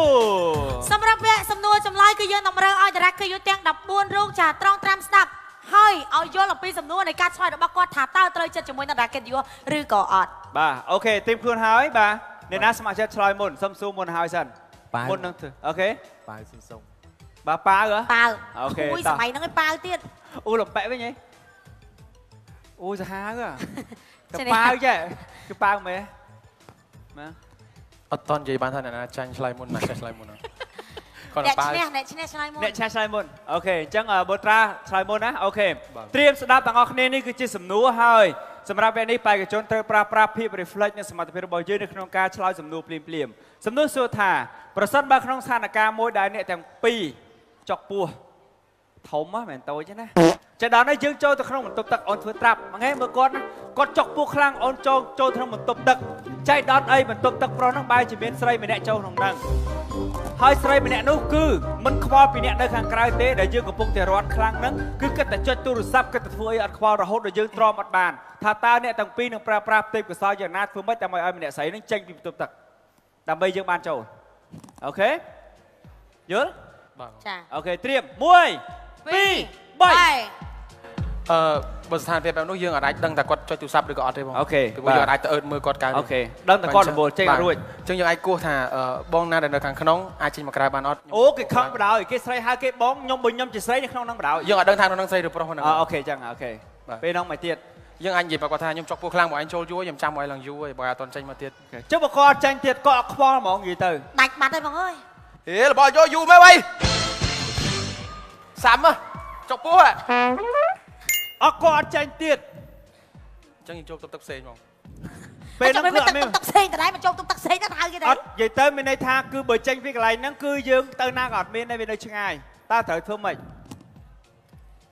អត់មានទេត្រូវចាំតទៀតបងត្រូវចាំបន្តទៀតបាទបើគាត់អត់ចេញបងខ្ញុំនិយាយមិនទៅគាត់នៅតែគាត់អត់ចេញដែរអូខេអញ្ចឹងមានន័យថាប្រើវិធីសាស្ត្រ slot សុំគាត់ចេញមិនចេញស្រែកនៅតែមិនចេញគឺអស់ផ្លូវគឺចាំបាទបងសុខចិត្តនៅនឹងបដ ாய் អូខេល្អណាស់នេះគឺជាចម្លើយរបស់បេក្ខជនបុត្រាអើយខ្ញុំដឹងតែអ៊ីនឹងជាប់ភ្នែកហើយដល់ពេលអាទិត្យនេះវិញបើមិនធាក់កវាយដែរតែកុំមើងងាយកូនក្រមខ្ញុំវាមិនដែលសុកសុកគេទៅវាយគេទេអូខេតាចា៎1 2 3សុំចម្លើយគឺចូលទប់ទឹកហើយនៅក្នុងហ្នឹងមានមនុស្សស្រីបងណាបាទយើងចូលអត់បានបងណាហ្នឹងហើយទប់ទឹកសាធារណៈបងណា បាទខ្ញុំចូលទប់ទឹកមួយទៀតដល់មានមនុស្សអត់បានអត់បានមានតែទប់ទឹកមួយគឺហ្នឹងមានតែមួយហ្នឹងយើងត្រូវតែធ្វើម៉េចប្រើវិធីសាស្ត្រឆ្លាតវៃដើម្បីចូលទប់ទឹកហ្នឹងឲ្យបានបាទបាទបាទហើយបាទមកកំភ្លៀងបាត់ថ្មិញដល់លឿនណានិយាយទៅសុំគាត់ស្រួលបងគាត់អត់ព្រមចេញគាត់អត់ព្រមចេញខ្ញុំថាឥឡូវសួរគាត់មានសង្សារអត់អូខេហើយគេកំពុងបាត់ជើងសួរគេមានសង្សារហ្នឹងបើថាគាត់អត់តន់មានសង្សារទេខ្ញុំសុំបត់ជាមួយផង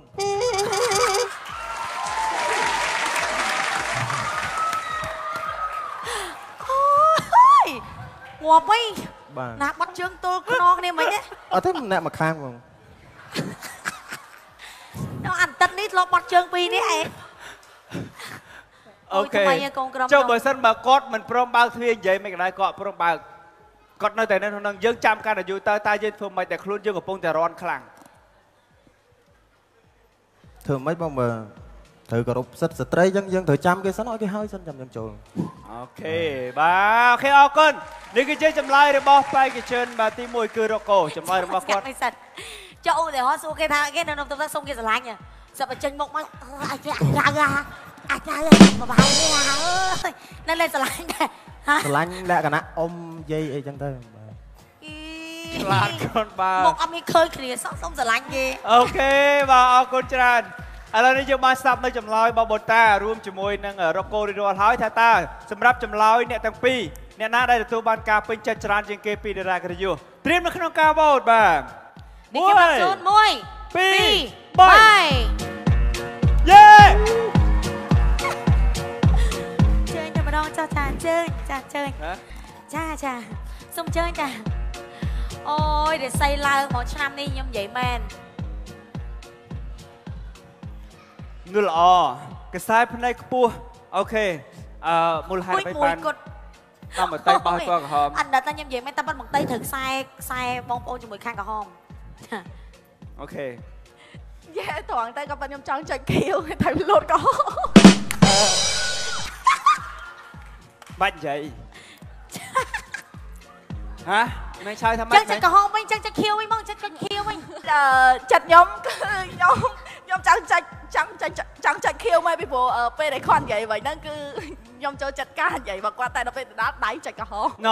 គេហៅថាដៃក្បត់ចិត្តអត់ទេចុចនិស័យនិស័យឲ្យយើងខ្ញុំចុបចល័យពផ្លឹកណ៌មើលក្រគាត់ហដល់មពេលចុចដដែលវាលូតចេញក្រហមអូខេច្រឡំប៊ូតុងអញ្ចឹងមានន័យថាការបោះឆ្នោតគឺជារឿងសំខាន់ ការសម្រេចចិត្តកាលណាយើងសម្រេចចិត្តខុសមួយជំហានគឺយើងមិនអាចត្រឡប់ក្រោយវិញបានទេជោគវាសអូយនាបងគឺតៃអាស្រ័យលើស្ដាការយបោះឆ្ស្នោតដាយអូមកនមួយយល់តោះហ្នឹងអត់ទៅកម្មវិធីលបងប្រាជ្ញាឯងណាអូខេអញ្ចឹងសម្រាប់មីហ្នឹងគឺចុចខុសហ្នឹងហើយ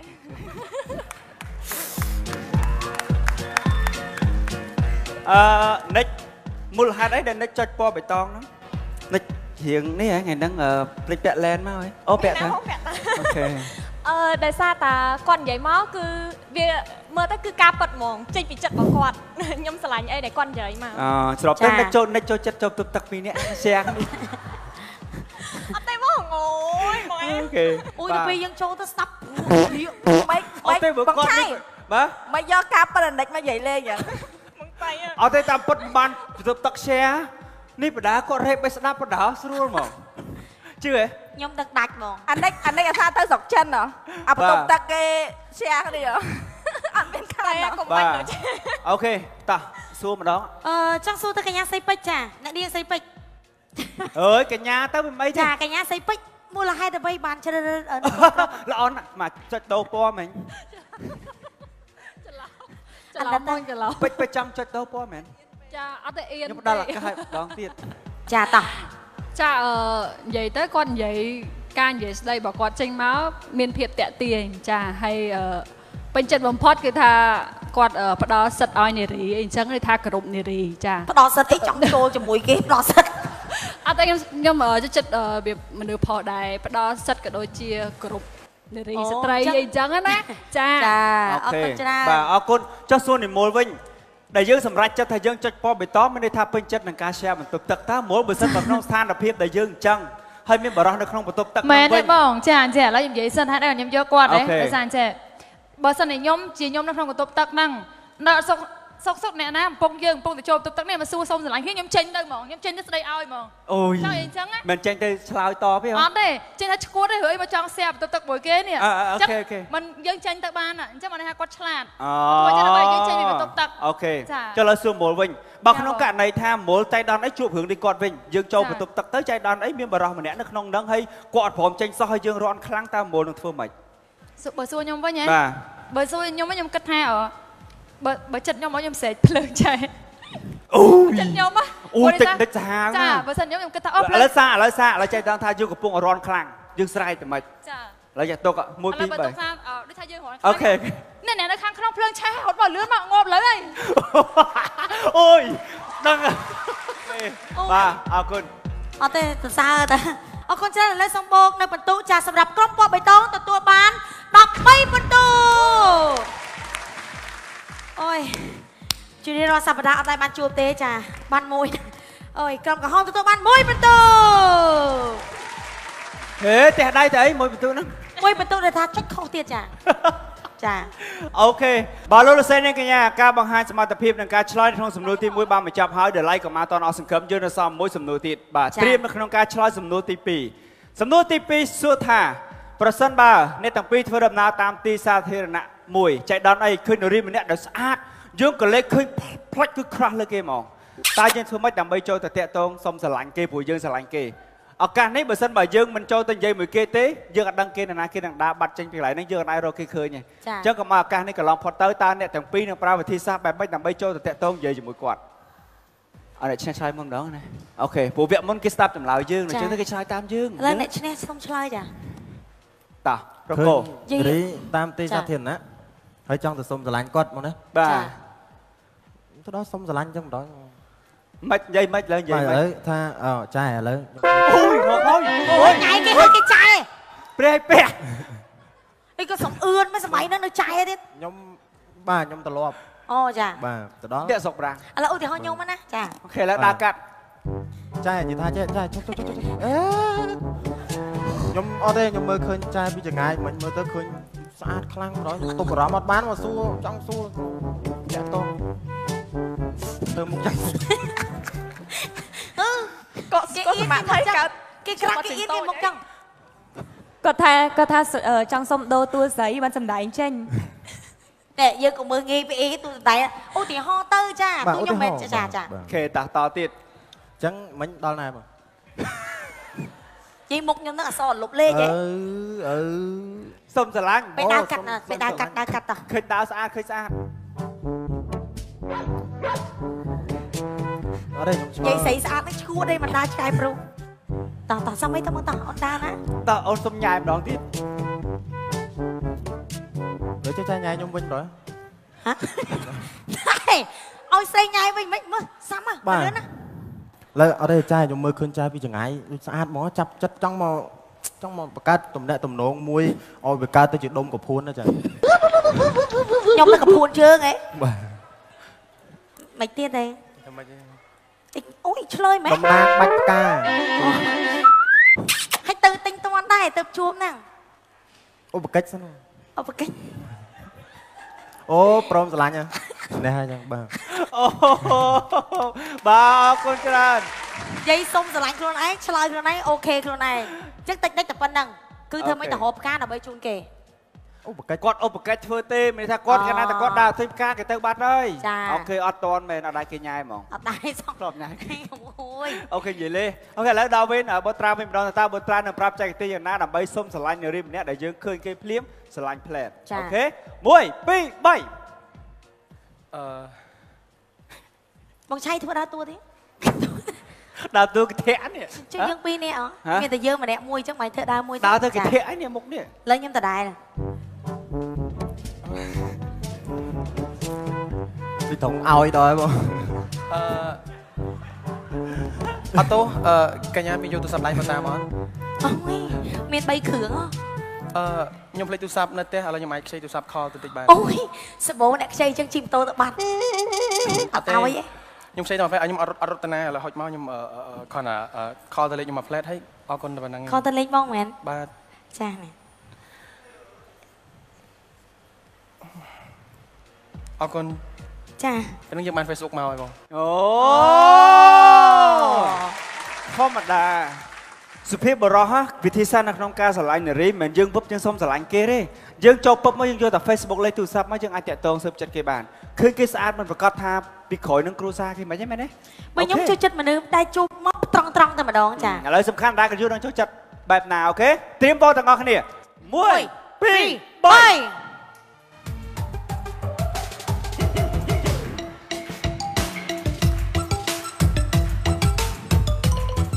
រំរំគេរំរំបាទ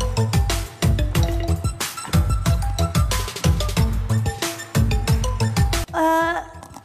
បងខ្ញុំបងមូលហេតុអ្វីដែលមានអារម្មណ៍ថាស្រស់ស្រាយជាងមករំភើបចុចបកបៃតងណាចាមកជាងមកបារមីតែម្ដងគួរឲ្យស្រឡាញ់ចាដូច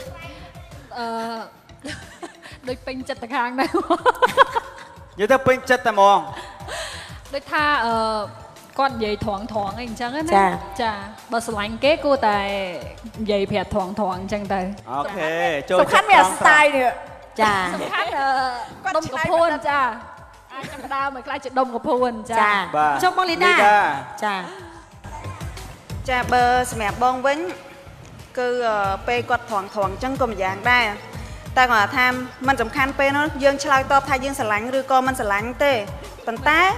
អឺតសើទឹកចិត្តរបស់គាត់គាត់ហ៊ានគាត់ក្លាហានហើយចំណុចមួយទៀតទៅខាងអឺបងក្រហមបើសិនជាអឺនៅស្ងៀមស្ងៀមមកខ្ចីទូរស័ព្ទដៃដូចថាចុចខទៅក្រុមគ្រួសារអីគឺអត់ហ៊ានទេព្រោះថានាងខ្ញុំធ្លាប់ជួបផ្ទាល់ចាកណ្ដោក្នុងផ្ទះតែម្ដងចា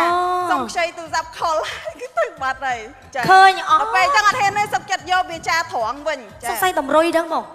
តម្រុយអីជុំកាបាក់ពួយខ្សែអូទៅនអត់ចេះទេធ្វើបាប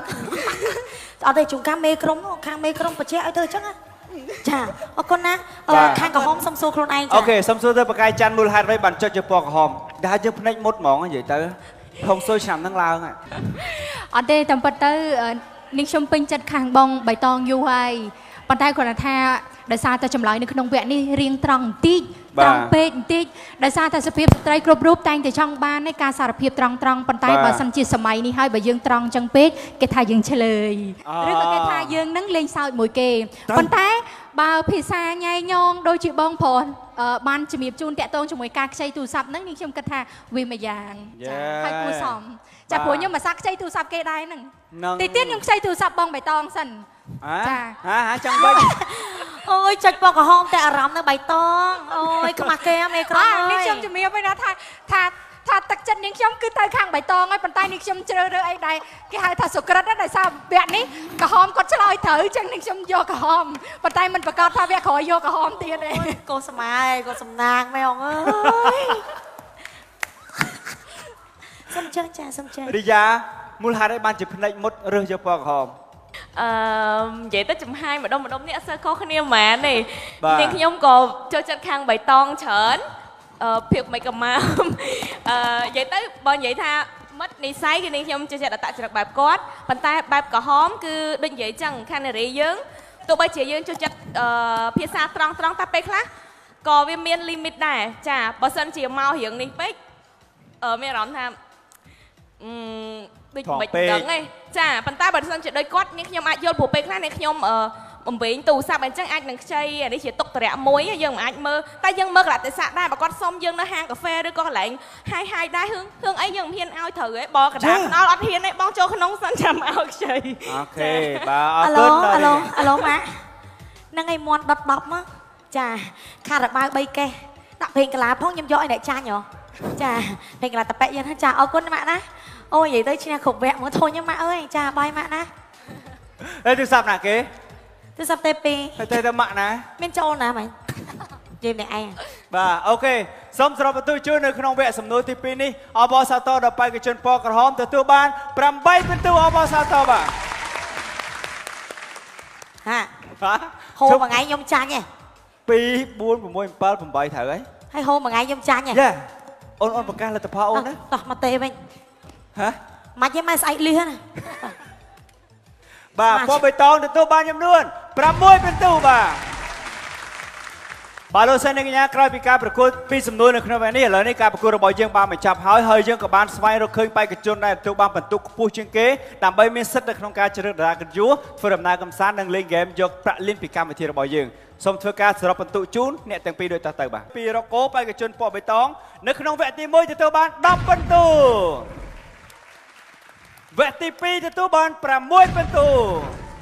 អស់សលេងបាទហើយដល់ពេលចាញ់គេញឹកពេកវគ្គទី3ទទួលបាន19ពិន្ទុសរុបទាំងអស់ចំនួន35ពិន្ទុអស់សលេងជួយប្រកាសតិចមកសុំវ៉ែនតាមេតិចមកពួកឃើញមេជួយចិត្តមើលអញ្ចឹង ញឹកខ្ញុំសូមប្រកាសពណ៌ក្រហមចាបងវិរៈបតទទួលបានវគ្គទី1 4ពិន្ទុវគ្គទី2 8ពិន្ទុវគ្គទី3វគ្គទី3 9ពិន្ទុសរុប21ពិន្ទុអូខេបាទ អរគុណណាស់បាទបើទោះបីជាអឺបុតទទួលបានបន្ទុកតែចាញ់នៅក្នុងវគ្គនេះប៉ុន្តែយើងឃើញថាក៏បានខិតខំប្រឹងប្រែងបង្ហាញអស់ពីសមត្ថភាពហើយមែនទេបុតអារម្មណ៍មិនដែរអត់អីទេណាបាទអត់អីទេបងបាទការប្រកួតតែមានឈ្នះឈ្នះចាញ់ណាបាទបងបាទហើយអឺក៏សប្បាយចិត្តដែលបានចូលរួមជាមួយនឹងកម្មវិធីអឺ The Friend Friend បាទហើយអឺនិយាយទៅខ្ញុំឃើញគាត់បង្ហោះនៅលើ page Facebook បាទចាប់អារម្មណ៍ក៏ដាក់ពាក្យមកហើយក៏សប្បាយចិត្តដែលបានជួបអ្នកទាំងអស់គ្នាក៏ដូចជាបាទបងទាំងអពីររគុណផងដែរអរគុណដល់បុត្រាសង្ឃឹមថាចា៎ឱកាសណាមួយនឹងត្រឡប់មកវិញដើម្បីចូលរួមលេងយកប្រាក់លានពីកម្មវិធីរបស់យើងនៅឱកាសក្រោយចានិយាយលេងខុសតួខំថៃបងណាបងបុតបាទចាអរគុណជូបុពរត្រាសុខជំរាបសប្បាយក្រោយណាបាទជំរាបលាបាទបាយបាយអូខេសម្រាប់បរោះសង្ហាដែលជាកូនហេងហេងរបស់ខ្ញុំជាកូនទ្រព្យសំណាងរបស់ខ្ញុំណាត្រូវការរើសជាមួយនឹងតារាកិត្តិយសទាំង14រូបប៉ុន្តែកញ្ញាដាលីត្រូវបានបន្លុកហើយគឺយើងមិនអាចរើសគាត់ទេភាពចោលហ្មងចាគឺគាត់ សប្តាហ៍មុនគឺគេរើសគាត់ហើយអូខេអញ្ចឹងយើងបាទអាចជ្រើសរើសជា13រូបបានចាគិតថាពេញចិត្តមួយណាជ្រើសរើសយកមួយហ្នឹងភ្នែកខ្ញុំរៀងព្រិលមកទៅមើលចិត្តតិចចាចាបាទគាត់ថាប្រើក៏សុំមើលចិត្តឯណាទៅឯណាទៅគូព្រេងខ្ញុំតូចឬធំធាត់ឬស្គមខ្មៅឬសសាវ័យទៅសាំងអីទៅត្រង់ឬល្អអឺសុំរើសយកនិមលចាបាទបាទសាទរដល់និមល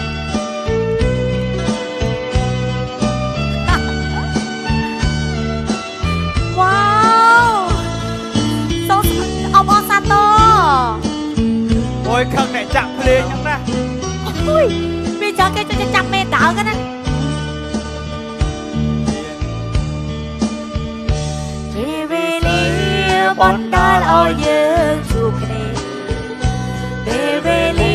បណ្ដាលឲ្យយើងស្រឡាញ់គ្នាដោយចៃដន្យអត់ទៅយើង pre wedding ឯង ដោយអូយច្រឡំអាអ្នកនេះហ្នឹងហ៎អូយបងមើលខ្ញុំឃើញមេហុងសសុយថាបងថ្ងៃថ្ងៃហ្នឹងគឺដល់គូដល់គូហើយលក្ខណៈខ្ញុំទៅសួរម៉ៃថាបែបចេញមកលក្ខណៈអាគាំងឬក៏អរំអនេកជនអូយឥឡូវមែនបងខ្ញុំនិយាយមែនអនេកជនស្អាងព្រែកតូចនេះហ្មងអូយលុយហ៎បងមានអារម្មណ៍ដែរនិមលនៅពេលដែលត្រូវបានរកគោគាត់អឺសម្រាប់ជ្រើសរើសដើម្បីធ្វើដំណើរកម្សាន្តជាមួយគ្នាបាទចាអឺសម្រាប់នេះខ្ញុំមានអារម្មណ៍ថាសប្បាយសប្បាយរីករាយមែនដែរព្រោះបាទថាអឺសម្រាប់អ្នកដែលចង់អឺ ធ្វើដំណើរទៅមួយរកគោគឺច្រើនព្រោះថាហ្គេចថ្ងៃនេះគឺជ្រួលជ្រើមខ្លាំងមែនតើចាប៉ុន្តែអឺអរគុណមែនតើព្រោះថាខ្ញុំបាទគិតថាអាចចូលគ្នាព្រោះថាចរិតរកគោអូខេបាទត្រង់ត្រង់ដល់ខ្ញុំអញ្ចឹងអូខេប៉ុន្តែថាអត់បាទចេះលាក់ចរិតទេត្រង់អញ្ចឹងបាទគិតថាអឺពួកយើងនឹងខ្លាយជាមិត្តភាពដ៏ល្អអូខេបាទគ្នាមែនតើសង្ឃឹមថានឹងស្វែងយល់ពីគ្នារាប់អានគ្នាហើយកុំភ្លេចត្រឡប់មកវិញគឺត្រូវយកប្រាក់លៀនពីកម្មវិធីរបស់យើងឲ្យបានចាអូខេស៊ូៗចាបាទរកមូលហេតុអ្វីបានសម្រាប់ជ្រើសរើសយកនិមលព្រោះអីគាត់ថាគាត់និយាយកន្លែងនោះមិនគាត់ថាគាត់ចរិតមើលទៅដូចខ្ញុំដល់អញ្ចឹងខ្ញុំ តាមដំណើរបណ្ដោយទៅគាត់ថាចូលចិត្តនិយាយត្រង់ត្រង់អីតាមតាណាហ្មងនិយាយទៅចេះតែចុចព្រាវមកហៅព្រាអវត់ទេអ្នកអ្នកអ្នកត្រង់ដូចគ្នាបងអូអចិត្តត្រង់ដូចគ្នាអូខេអរគុណនៅក្នុងពេលនេះពួកគាត់ទាំងពីរនឹងធ្វើដំណើរកម្សាន្តជាមួយគ្នាស្វែងយល់ពីគ្នាទៅវិញទៅមករួមគ្នាធ្វើការងារល្អៗជាច្រើនដើម្បីសង្គមហើយពួកគាត់នឹងត្រឡប់មកវិញដើម្បីយកទឹកប្រាក់6លានរៀលពីកម្មវិធីនេះចាសូមក្រុមអាចារ្យចាជំរាបលាសុខសប្បាយណាសុខសប្បាយ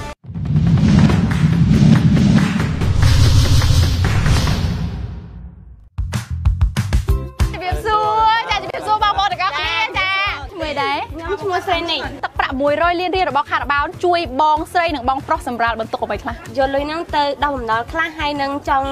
មានអាជីវកម្មផ្ទាល់ខ្លួនខ្លួនឯងដែរហើយនឹងជួយម៉ាក់ប៉ាឲ្យគាត់អឺសម្រាលការងារគាត់ណាលេខកូដគឺមានលេខ017គឺពិតជាត្រឹមត្រូវ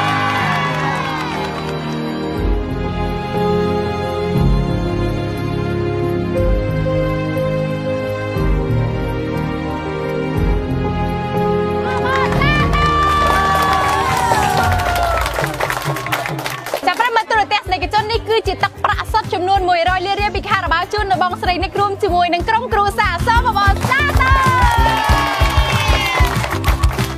ខ្ញុំសូមជូនពរដល់លោកអគ្គនាយកក្រុមហ៊ុនខារ៉ាបាវសូមឲ្យរកស៊ីទទួលទានមានបានហើយនឹងលោកខារ៉ាបាវឲ្យកាន់តែដាច់ប្រិយមិត្តទូរទស្សនិកជនសូមចំណាំឲ្យបានច្បាស់ជាវខារ៉ាបាវណាដែលមានអក្សរខ្មែរនៅលើសំបកកំប៉ុងសម្រាប់សញ្ញាសម្គាល់ផ្សេងផ្សេងៗគឺគ្រាន់តែជាសញ្ញាសម្គាល់របស់រោងចក្រផលិតកំប៉ុងតែប៉ុណ្ណោះខារ៉ាបាវរបស់យើងមានរង្វាន់ជាច្រើនដូចជាទឹកប្រាក់100លានរៀលចំនួន60រង្វាន់70លានរៀលចំនួន50រង្វាន់ម៉ូតូចំនួន60គ្រឿងទូរស័ព្ទ iPhone ចំនួន60រង្វាន់ព្រមទាំងរង្វាន់ខារ៉ាបាវមួយកំប៉ុងមួយកំប៉ុងរាប់លានកំប៉ុងទៀតសម្រាប់រង្វាន់100លានរៀលនិងរង្វាន់70លានរៀលគឺមានសុពលភាពដូចគ្នាកំប៉ុងខារ៉ាបាវដែលត្រូវរង្វាន់នេះបងជឿពីណាមកដែរជឿពីពីផ្ទះម៉ាក់ផ្ទះម៉ាក់ក្មេងអូម្ដាយក្មេងនេះតែម្ដងគ្រឿងទូរស័ព្ទ iPhone XS 70គ្រឿងនិងរង្វាន់ Ichitan រាប់លានដបថែមទៀតផងសម្រាប់អ្នកលក់ដែលមានអតិថិជនទៅរង្វាន់100លានរៀលពី Ichitan ក៏ទទួលបានលុយសុទ្ធ3លានរៀលផងដែរ Ichitan ចែកពិតចែកលឿនចែកដល់ផ្ទះរបស់លោកអ្នកគម្រប Ichitan ផ្លាស់ប្ដូរជីវិតរបស់លោកអ្នក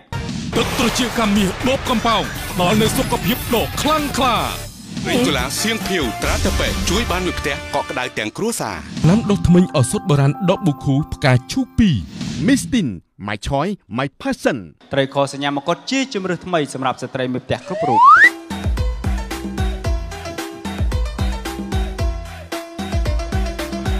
បាទស្វាគមន៍នឹងជួបនេះជាបន្តនៅក្នុងកម្មវិធី The Friend ហើយរកបាត់យល់ លោកលោកស្រីនិងនាងកញ្ញាកម្មវិធីរបស់យើងគឺតម្រូវឲ្យបេក្ខជននិងតារាក្រយុទ្ធធ្វើដំណើររួមគ្នាថាតើក្នុងដំណើរកម្សាន្តរបស់ពួកគាត់មានរឿងរ៉ាវអ្វីកើតឡើងខ្លះទៅដល់ពេលនេះសូមរីករាយទស្សនានៃវីដេអូនៃការដំណើរកម្សាន្តរបស់កញ្ញាសាឌីនិងលោកសុភ័ក្រដូចតទៅសូមជើញបាទ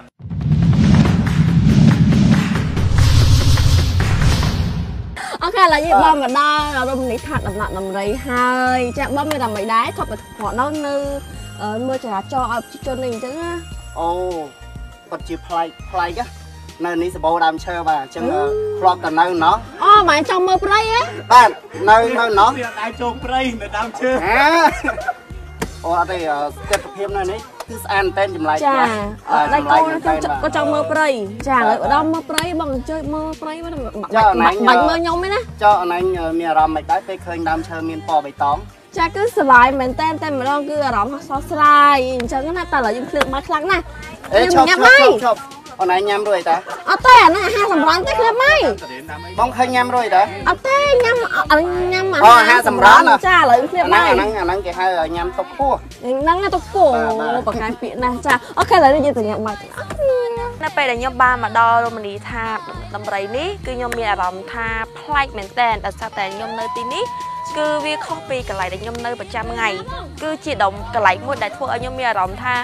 ជីវិតរបស់ខ្ញុំគឺ fresh មែនតើគឺអឺមានភាពអឺរស់រវើកជាងមុនដោយសារតែខ្ញុំអត់ stress ដំណាក់អមរៃនេះគឺនៅស្ថិតក្នុងអឺទីតាំងអឺទឹកដីគិរីរំ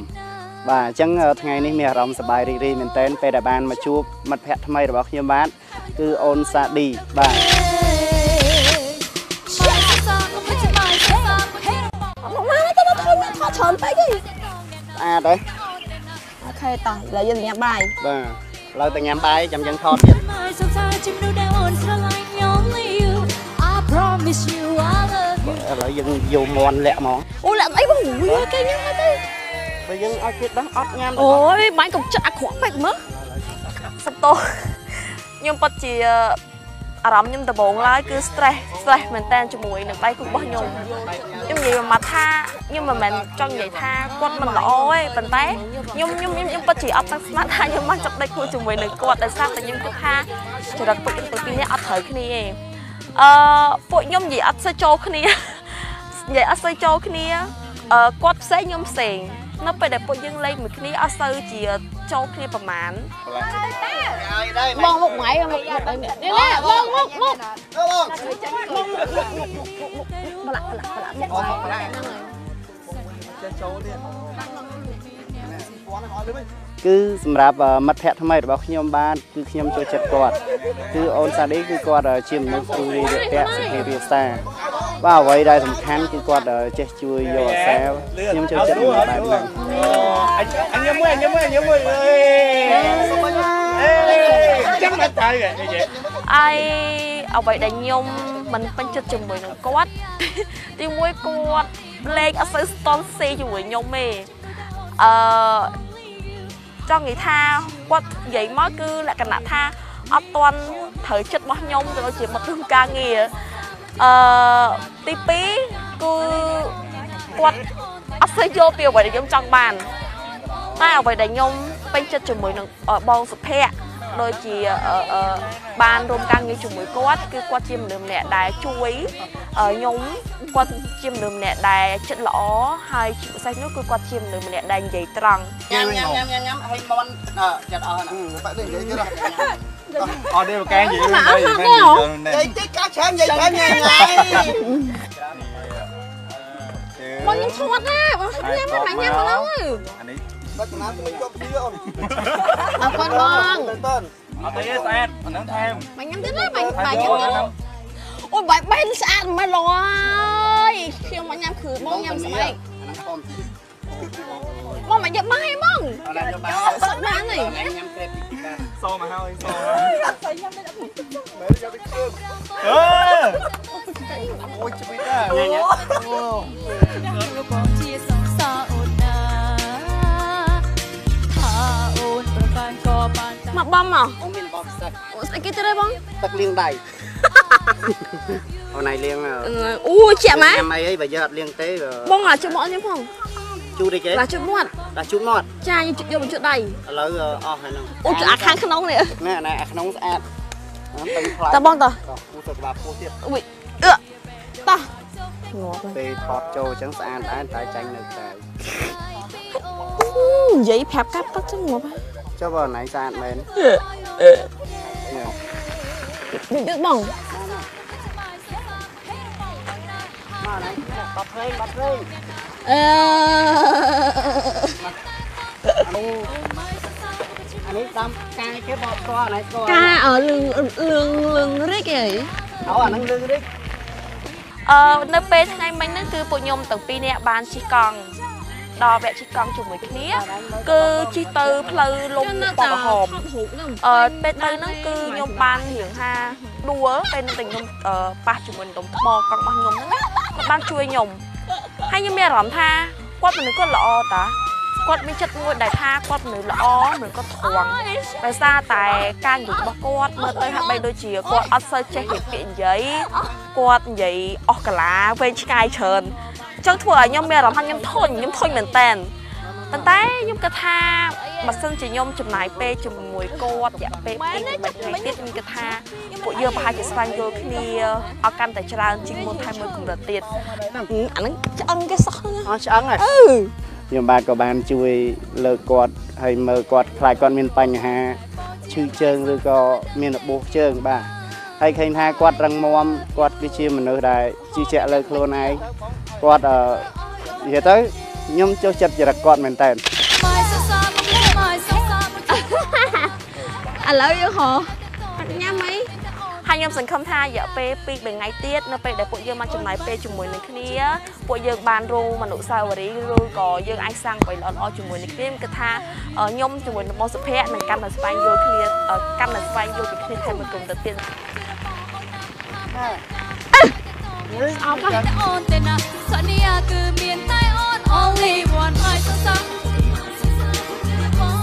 only I you I promise you I love you forever with you my song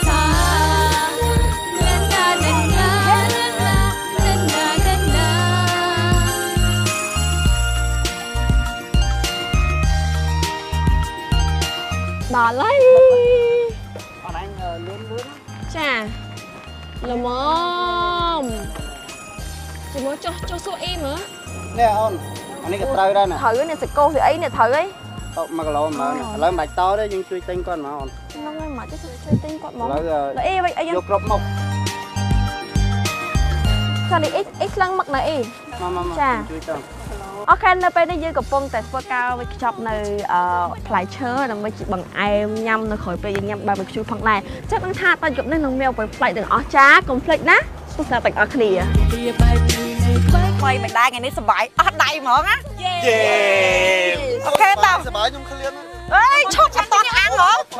តោះឥឡូវទៅយកទៅអាំងរៀងរៀងខ្លួនតោះចាប់ផ្ដើម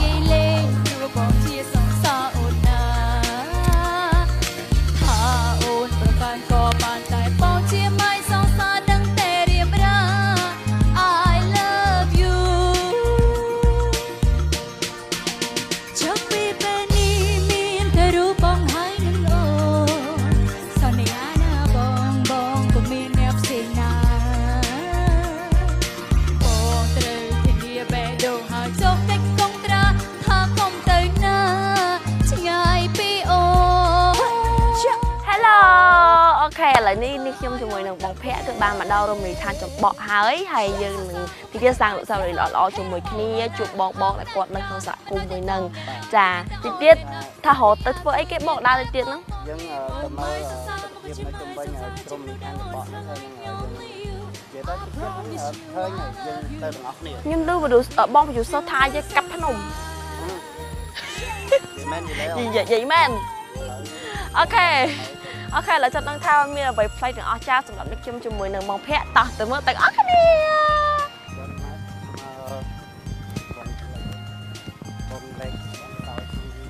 អើយខ្ញុំខ្សោយដែរគ្មានអាចជួយណានេះតើបងទៅដើរផ្លូវនោះទៀតអីដើរផ្លូវនេះទៅផ្លូវនោះវាអឺឡើងក្លុកឡើងច្រើនហើយមិនចង់ឲ្យខ្ញុំដើរទៅមិនគេមិនអូយ ដៃគូដល់កអី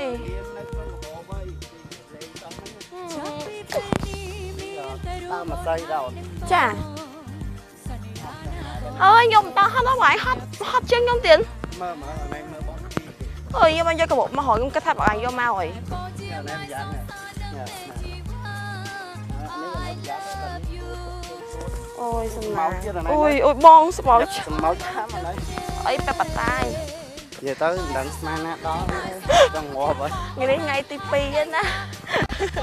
ហត់មែនតែនហ្មងអូបងនោះទឹកស្នេហ៍ជ្រោះជ្រុះហីដល់អូយទៅណៃប្រយ័ត្នទៅដល់ហីចាំតិចបងអូបងបានបានបានបងទុកជាប់ហើយបងទុកជាប់ហើយអូនេះទឹកជ្រោះដល់នេះទឹកហូរហ្នឹងហើយអឺហូរមកពីលើហ្នឹងស្អាតដល់នេះណៃមើលមកនេះណៃមើលមក ដើរតាមនេះដើរឥឡូវឥឡូវទៅដើរមើលឥឡូវហ្មងអូនេះដើរតាមណានេះដើរតាមថ្មនេះឲ្យទៅដល់ខាងនោះឥឡូវចូលបងចាស់មុនឥឡូវតុបបងឥឡូវតុបតុបតុប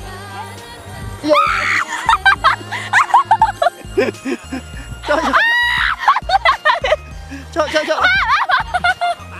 អាយមកមកណាស់ណាស់នេះនេះនេះអូយតុបណាស់ដើរទៅមុនបងបងចូលតាមក្រោយណាចូលចូលតុបណាស់ចឹង អីទេ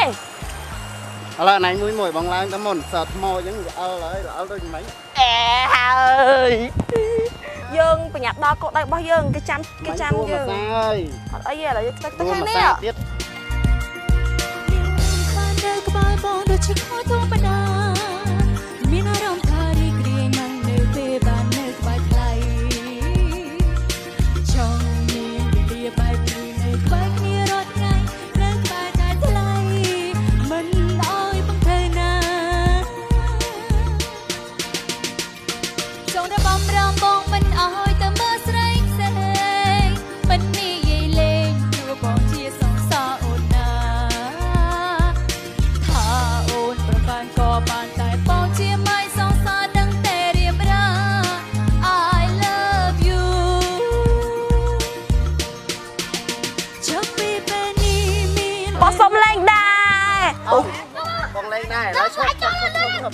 អូយឈប់ឈប់ឈប់ឈប់ឈប់ឈប់ណាគ្នាបងណាគ្នាបងមកអណៃនៅខាងនេះអូយខ្ញុំអុយមកមកអុយត្រាក់មកអូន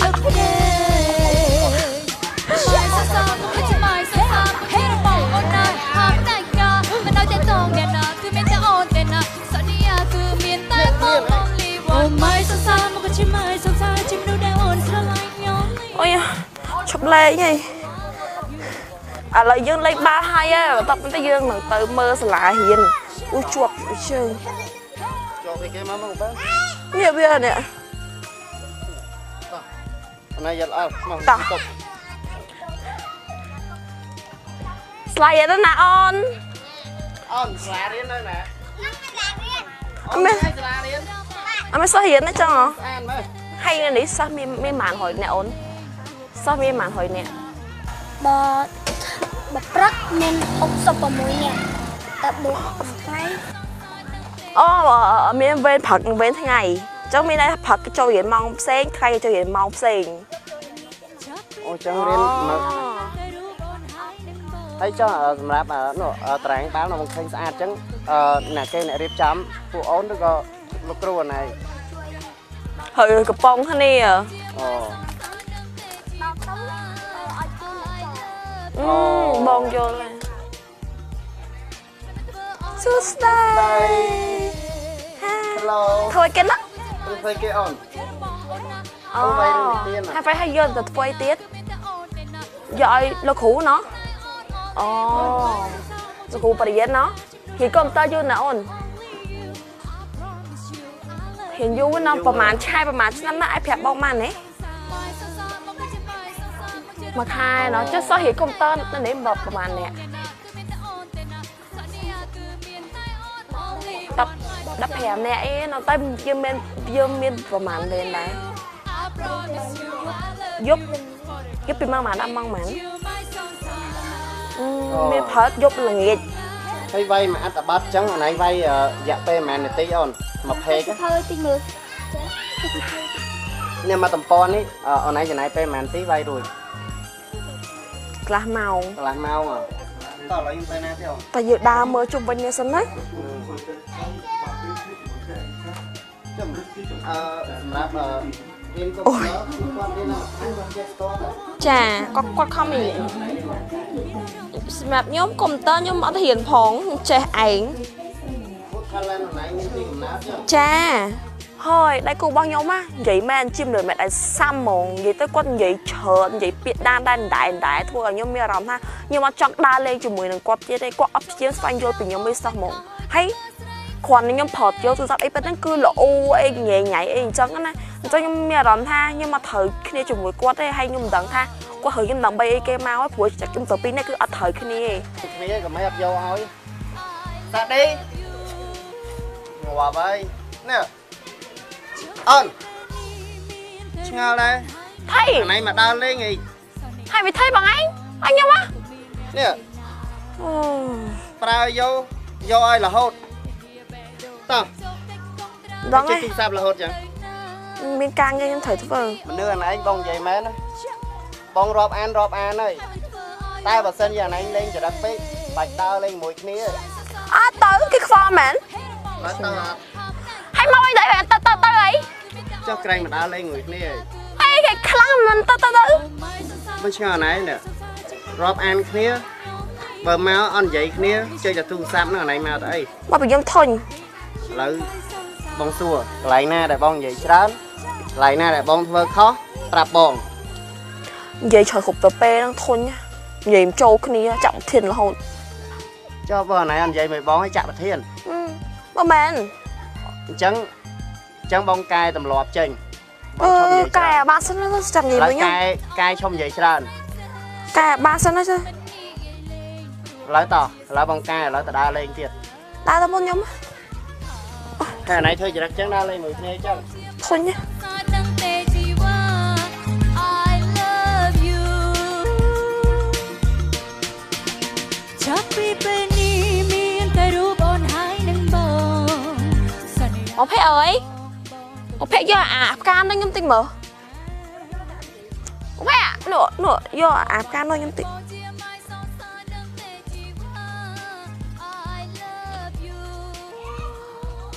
កុំយូរពេកណាឃើញទាំងអស់គ្នា គ្រាន់តែខ្ញុំថាអត់សិននិយាយច្រើនណាឥឡូវគឺគាត់អត់សិននិយាយច្រើនមែនតែនិយាយច្រើនពេកខ្ញុំធុញខ្ញុំគឺគ្មានអារម្មណ៍ដែរលេងជាមួយគាត់ទេឥឡូវគឺបានតែថ្ងៃព្រឹកថ្ងៃគឺទៅនឹងហាក់និយាយមួយខ្ញុំសោះហ្មងបងយីផ្កាមកនេះខ្ញុំដាក់នេះ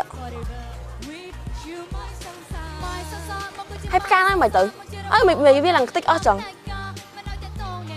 ហើយមិនមិននិយាយជាមួយខ្ញុំមួយម៉ាត់មក ហើយយកផ្កាដាក់ចោលចឹង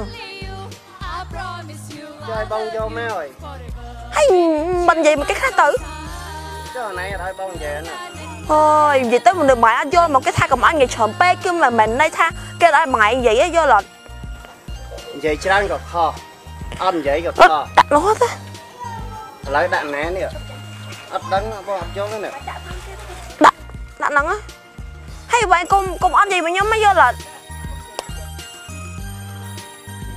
និយាយយល់អត់និយាយច្រើនក៏ខុសអត់និយាយក៏ខុសដាក់នោះទៅឥឡូវដាក់ណែនេះអត់ដឹងបងអត់យល់ទេណាដាក់ហ្នឹងហើយបើកុំកុំអត់និយាយមកខ្ញុំមកយល់អត់នេះបងកាប់វាអស់នេះព្រោះត្រូវដាំកាប់បន្ថែមទៀតហើយខ្ញុំអង្គុយខ្ញុំហត់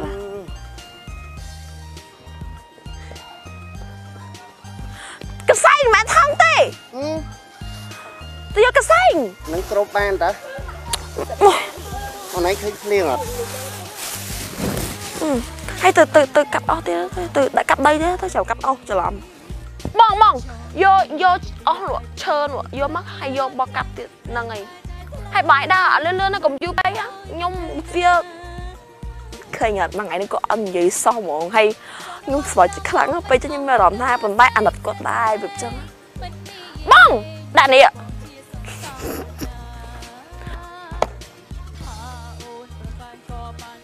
ហើយម៉ែមកគាត់អីថៃហើយអាយយកទៅហ៎អេស្គាល់ទេ នេះអត់វិញណាអាកមកប្រើរហូតចឹងអើយម៉ែនេះខំមួយអញធាត់ពេកយល់អត់ចង់ឲ្យម៉ែធ្វើការខ្លះទៅកុំឲ្យមួយថ្ងៃហ្នឹងតនេពេលមុំមានឡើងកំមាប់ជ្រុកមកមកមកឈប់ឈ្លោះគ្នាតោះយើងទៅរកអីញ៉ាំមិនគ្នាណាធ្វើបាបគេមកព្រឹកហើយមកអូយហើយកុំនិយាយច្រើនទៅគួរឲ្យស្រឡាញ់តិចម្ដងនិយាយច្រើនពេកធុញអើកាយចឹងទៅល្អ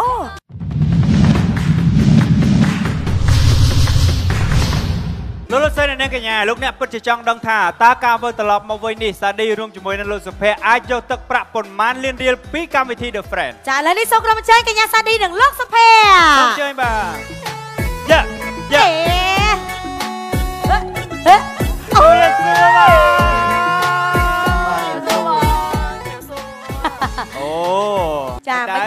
សុខសប្បាយសុខសប្បាយចាសប្បាយមែនតែនតែម្ដងបងអូសប្បាយពីខាងខ្ញុំនឹកឃើញនឹកឃើញពេលហ្នឹងគឺសប្បាយហ្មងណាបាទសប្បាយចង់ទៅម្ដងទៀតទេដូចលេចចង់ទៅហ៎បងអូចង់ទៅកន្លែងផ្សេងវិញទៅកន្លែងផ្សេងវិញមិនដែរសាឌីបន្ទាប់ពីបានអឺតែដើរលេងកំសាន្តជាមួយនៅលោកសុភ័ក្រយល់ឃើញលោកសុភ័ក្រមិនដែរអឺយល់ឃើញថាគាត់រៀងនិយាយច្រើនមែន ទទួលស្គាល់ការពិតប៉ុន្តែគ្រាន់តែគាត់ក៏ចេះជួយយកអាសារបស់គ្នាឲ្យពួកខ្ញុំផងដែរចាមែនតែនិយាយលេងនិយាយលេងអត់ប្រយោជន៍ច្រើនទេប៉ុន្តែគាត់ចេះយកទុកដាក់ចាបាទ take care ដល់សាឌីមើលថែបានល្អផងដែរចាតែពិតក្នុងកំឡុងពេលដំណើរកំសាន្តលោកសុភ័ក្រគឺថា fan គាត់ច្រើនណាស់ណាច្រើនក្រុមចាការងារគឺថាសប្បាយជាមួយគាត់រហូតហ្មងហើយមួយទៀតលោកសុភ័ក្រថ្ងៃនេះមិនហ៊ាននិយាយអីចឹងបាទអញ្ចឹងអឺថ្ងៃហ្នឹងមានអារម្មណ៍ថាសប្បាយពេលដែលបាដើទរដំណើរកម្សាន្តជាមួយគ្នាបាទគ្រាន់តែថា ខ្ញុំចូលចិត្តនិយាយច្រើនបាទបាទទទួលស្គាល់ណាបងណានិយាយទទួលស្គាល់ការពិតហើយគាត់ក៏គាត់ចូលចិត្តខ្ញុំដែរតែគ្រាន់តែគាត់សាំសាំខ្ញុំនិយាយច្រើនពេកអូយដែរឆ្លើយខ្លួនឯងអញ្ចឹងឯងអូខ្ញុំសុំឆែកវីដេអូវីដេអូតិចមើលគេបានសួរខ្ញុំតាយាយចាយាយសាឌីឯងវីដេអូសាឌីឯងនេះអ្នកកាត់តនោះគឺកាត់តខូច វគ្គដែលសាឌីឯងពេញចិត្តជាមួយមីងមួយដែលលក់ចៃជៀនហ្នឹងគាត់កាត់ដាក់មកពេញចិត្តសុភ័ក្រវិញណែហ្នឹងហើយបាអូទយបងអរគុណណាស់ឥឡូវអ្នកទាំងពីរបានត្រៀមខ្លួននៅក្នុងការឆ្លើយសំណួរយកទឹកប្រាក់ហើយឬនៅត្រៀមហើយអូខេសូមបញ្ជាក់ជូនថានៅក្នុងមួយសំណួរគឺទឹកប្រាក់1លានរៀលចាហើយសម្រាប់លក្ខន្តិកគឺអ្នកទាំងពីរមិនត្រូវខ្សឹបគ្នា មិនត្រូវសួរនាំគ្នាលុះត្រាតែយើងជម្រាបថាអាចសួរនាំបានបានទៅអាចសួរនាំបាទចាហើយសម្រាប់ការឆ្លើយគឺមានពេល45វិនាទីបាទអញ្ចឹងប្រសិនបើអ្នកទាំងពីរធ្វើប្រហែសតែបន្តិចទឹកប្រាក់1លានរៀលនឹងបាត់បង់នៅក្នុងមួយសំណួរជូនពរសំណាងល្អដល់អ្នកទាំងពីរតែបងខ្ញុំសុំមួយបងកុំកុំឆ្លើយវែងវែងពេកណាខ្លីៗកាត់បានខ្លីៗទេកាត់ខ្លីៗចាចាកុំយើងកុំមានមកបែរសខេសខេបបានហើយអណាញ្ចឹងអត់និយាយច្រើនដូចកាយយើងទៅអត់បានទេបងអត់បានទេគិតតែចេញលើយអូខេចាប់ផ្ដើម សម្រាប់សំណួរមួយនេះអ្នកទាំងពីរអាចរួមគ្នាឆ្លើយបានអូខេសំណួរទី1ទឹកប្រាក់1លានរៀលសួរថាតើចម្ងាយពីផ្លូវចូលត្រែងត្រយឹងទៅដល់សហគមន៍ចំបក់មានចម្ងាយប៉ុន្មានគីឡូម៉ែត្រនាទីចាប់ផ្ដើមចាប់ផ្ដើមយើងប្រយើងមាណប្រហែលបានដែរបងអាចបានផាហាយបានហាក់ប្រហែលបានបាយចាំអត់ចាំអូខេតោះចម្លើយហាមផ្លាស់ប្ដូរបើសម្រាប់ចិត្តតាឆ្លើយទៅតែឆ្លើយហើយនៅអឺ5គីឡូដីចុះក្រោម អូខេ5គីឡូដីចុះក្រោមបាទប្រកាសទេណាប៉ិតប្រកបអូខេតើសម្រាប់អត់អាចផ្លាស់ប្ដូរបានទេតាទីពេលកវីក្បាលអត់ជឿជាក់ដល់ដៃគូពីស្ទឹងត្រែងអត់ទេពីស្ទឹងត្រែង ដល់ម៉ោងហើយអូខេចម្លើយអត់អាចផ្លាស់ប្ដូរបានទេពីផ្លូវចូលឬក៏ពីពីផ្លូវចូលអឺត្រែងតែយឹងទៅដល់សហគមន៍ចំបក់ឯណូអូខេ5គីឡូដីចុះក្រោមអូខេចម្លើយ គឺជាចម្លើយដែលធ្វើឲ្យទឹកប្រាក់1លានរៀលនឹងក្លាយទៅជារបស់កម្មវិធីដដែលសូមចូលរួមសោកស្ដាយហើយមិនក៏អត់សួរនាំគេអញ្ចឹងសួរគាត់ជឿជាក់បាទនោះយើងបានចុច map ហើយតាមរយៈ map គឺមានចម្ងាយប្រមាណ 22គីឡូម៉ែត្រអូយខុសច្រើនម្លេះខុសច្រើនណាឡានជីលឿនណាបងតែជាគេទៅជីឡានជាអី5គីឡូណាណែអត់ទេក្នុងឡានក៏និយាយច្រើនណាបងនិយាយពីលើភ្នំដល់អម្ពិញហ៎អូភ្លេចរាប់គីឡូនិយាយរហូតហ្មងនិយាយនិយាយដល់ដល់អូពេលចឹងយគិតតែ5គីឡូដីដែរខ្ញុំនិយាយមែនខ្ញុំមកមកអប៉ែនេះខឹងហ្នឹងមែនតាអូមិនខេគិតអីទេនឹងចេញស្ទឹងត្រែងទេណាអូយ អូខេបាទសោកស្ដាយដែលអឺលោកសុភ័ក្រនិងសាឌីបានធ្វើឲ្យបាត់ទឹកប្រាក់ចំនួន1លានរៀលហើយឥឡូវឈានចូលសំណួរទី2សំណួរទី2នេះគឺអ្នកទាំងពីរអាចរួមគ្នាឆ្លើយបានដូចគ្នាអញ្ចឹងសង្ឃឹមថានឹងមិនធ្វើប្រហែសទៀតទេសួរនាំគ្នាមុនទើបសម្រាប់ចិត្តឆ្លើយចា៎តែត្រូវឲ្យលឿនព្រោះពេលវេលារបស់យើងមានតែ45វិនាទីទេសំណួរទី2ទឹកប្រាក់1លានរៀលសួរថាតើសហគមន៍ចំបក់បានបង្កើតឡើងនៅឆ្នាំណា និងមានផ្ទៃដីប៉ុន្មានហិកតា ចាប់ផ្ដើមវាមកសួរគេទេពេលទៅហ្នឹងផ្នែកដល់តែសុបាយពេកខ្ញុំពេកអឺអូខេចាំបាច់ឆ្លើយណាលើបាយឆ្លើយទេអូខេតោះក្នុងអឺរមណីយដ្ឋានចំបក់ហ្នឹងបាទបង្កើតឡើងនៅឆ្នាំណាហើយមានផ្ទៃដីប្រហែលប្រមាណហិកតាគឺឆ្នាំខ្ញុំមិនដឹងអេ អត់ដឹងអត់លុយហើយថាអត់ដឹងអាហ្នឹងគេបាច់គេសួរគេសួរឲ្យដឹងនេះហ្នឹងបើតាមមកគិតហ្នឹងអាហ្នឹងអឺយើងអាចឆ្លើយឆ្នាំចុងក្រោយបានអត់ថាឆ្លើយហេមិនតុក៏បានដែរឲ្យអស់នាទីលើកុំសួរឡើងវិញតែ1 2 3អាហ្នឹងអឺ2016ចុះក្រោម2011ចុងក្រោមផ្ទៃដីដីដីហើយជាបាទអូអត់ចាំទេណាអស់នាទីហើយណាណាអស់ហើយអស់ហើយអត់នាទីហើយអត់អូខេ ហើយប្រមាណហិកតាផាផាយជាងចោះអូយខំទិញ2ហិកតាចុះក្រោម2ហិកតាចុងក្រោមអូខេខ្ញុំបាននឹងសូមធ្វើការប្រកាសចម្លើយជូនលោកសុភ័ក្របានឆ្លើយថាបង្កើតឡើងនៅក្នុងប្រហែលឆ្នាំ2016នៅផ្ទៃដី2ហិកតាចុះក្រោមគឺជាចម្លើយដែលមិនត្រឹមត្រូវទេចាសសូមជម្រាបសួរ នាងខ្ញុំឈ្មោះសេតូចហើយនាងខ្ញុំគឺជាអ្នកនាំភ្ញៀវនៅក្នុងសហគមន៍ជាបកហើយអឺតកតងជាមួយនឹងសំណួរបងស្រីដែលបានសួរថាតើសហគមន៍យើងបង្កើតនៅក្នុងឆ្នាំណាហើយមានអឺផ្ទៃដីអឺចំនួនប្រមាណឥឡូវនេះខ្ញុំសូមបកស្រាយសហគមន៍យើងគឺបង្កើតនៅក្នុងឆ្នាំ2003ហើយនឹងមានផ្ទៃដីចំនួន3450ហិកតា2006តាំងពីឆ្នាំមុនហ្នឹងអាចុះគេបើបង្កើតខ្ញុំយូរហើយសហគមន៍គេឡើងមានចៅមានកូនទៀតអី ខ្ញុំទៅខ្ញុំឃើញអឺសម្ភារៈនិយាយទៅមើលទៅស្អាតហើយថ្មីអញ្ចឹងខ្ញុំគិតថាតំតែអាប់ដេតចុះខាងសពបរសធរគេឧបត្ថម្ភរហូតដូររហូតអូយទៅមើលលើសម្ភារៈប្រើប្រាស់នេះពិតជាអ្នកបុរាណវិជាមែនអឺខ្ញុំសុំសួរដល់កញ្ញាសាឌីមានអារម្មណ៍យល់ឃើញយ៉ាងណាដែរនៅការឆ្លើយរបស់គាត់ចាបងអត់អត់ដឹងនិយាយថាម៉េចទេ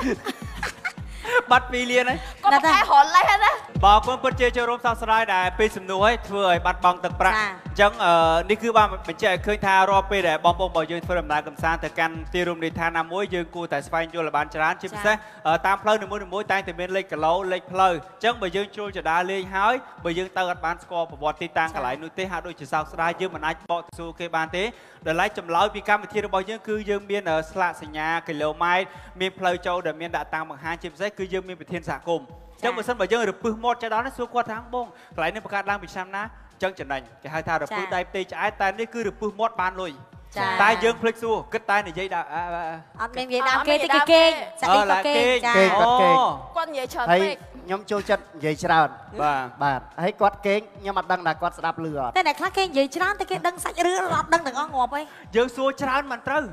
ទៅត្រូវសួរគេឲ្យច្រើនចុះអឺបើពួកគាត់អត់មានសួរថាជុំយើងមកហ្នឹងមិនមែនគីឡូដីគាត់ដើរម៉ោងប៉ុន្មានដល់ហើយអឺម៉ោងប៉ុន្មានដល់ហើយអូខេបាទសង្ឃឹមថាសំណួរទី3អ្នកទាំងពីរនឹងអាចយកទឹកប្រាក់1លានរៀលពីកម្មវិធីឲ្យបានសំណួរនេះអាចរួមគ្នាឆ្លើយបានដូចគ្នាណាសំណួរនេះរៀងស្រួលបន្តិចហើយអូខេសំណួរទី3ទឹកប្រាក់1លានរៀលពី The Friend សួរថា នៅពេលទៅដល់ដំណាក់ដំរីថ្ងៃដំបូង តើអាហារថ្ងៃត្រង់មុនគេមានម្ហូបអ្វីខ្លះឆ្លើយឲ្យបានយ៉ាងហោចណាស់3មុខ Yes អើយមលាតតោះមួយពី3ណាគេឆ្លើយឲ្យតែត្រូវមកមកហូបខ្ញុំមួយឥបានឡូវខ្ញុំឆ្លើយមួយអឺមានមាន់ដិតមួយខ្ញុំមួយទៀតចាំតិចមួយដូចណាបងឯងអត់រនឹកតិចអូយធ្វើនេះខ្លួនឯងឆ្លើយបាទអឺអត់មាមាននកែបហើយមានអឺមួយទៀត អឺលឿនចិត្តត្រីត្រីត្រីត្រីអីត្រីអាំងត្រីអាំងបាទអូខេទូអូខេណាចម្លើយគាត់មិនមែនគឺមានបណ្ឌិតមួយបាទមានកង្កែបមួយនិងមានត្រីអាំងគ្រឿងមួយទៀតអត់ទឹកគ្រឿងទឹកគ្រឿងទឹកគ្រឿងទឹកគ្រឿងទឹកគ្រឿងអូខេចម្លើយដែរអ្នកទាំងពីរឆ្លើយសូមចូល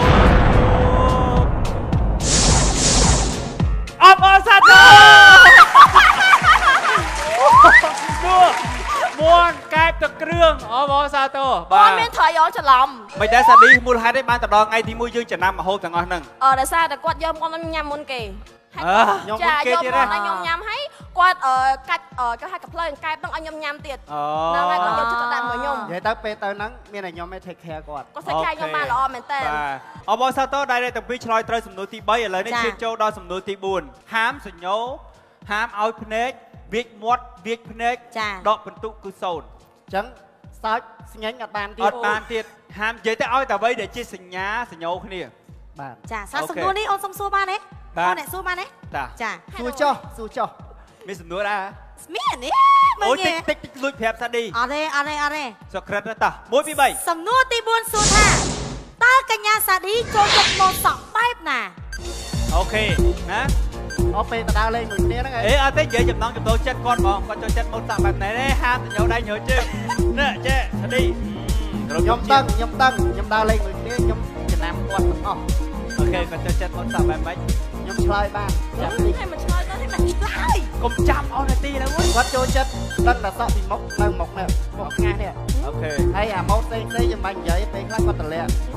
ពេលខ្លះនិយាយទៅឥឡូវសម្រាប់ចិត្តដឹងវិញមុខឥឡូវគេឲ្យចាប់មកម៉ូតសក់អីគេ ម៉ូតសក់តម្លាក់មានសក់ពីមុខលើខាងអូខេបាទនិយាយទៅទូទៅចឹងហ្មងខ្ញុំដើរមើលគាត់ឃើញគាត់ធ្វើចឹងអឥឡូវគាត់ចូលចិត្តរបៀបម៉ូតសក់វែងឬសក់ខ្លីឆ្លើយចប់គាត់ចូលចិត្តសក់វែង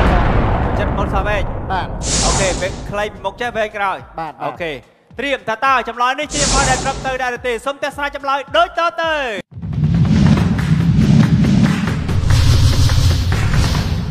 អឺបើសក់នេះខ្ញុំឥឡូវនេះកាត់សក់ខ្លីប៉ុន្តែជាទូទៅគឺស្លៃសក់វែងយេ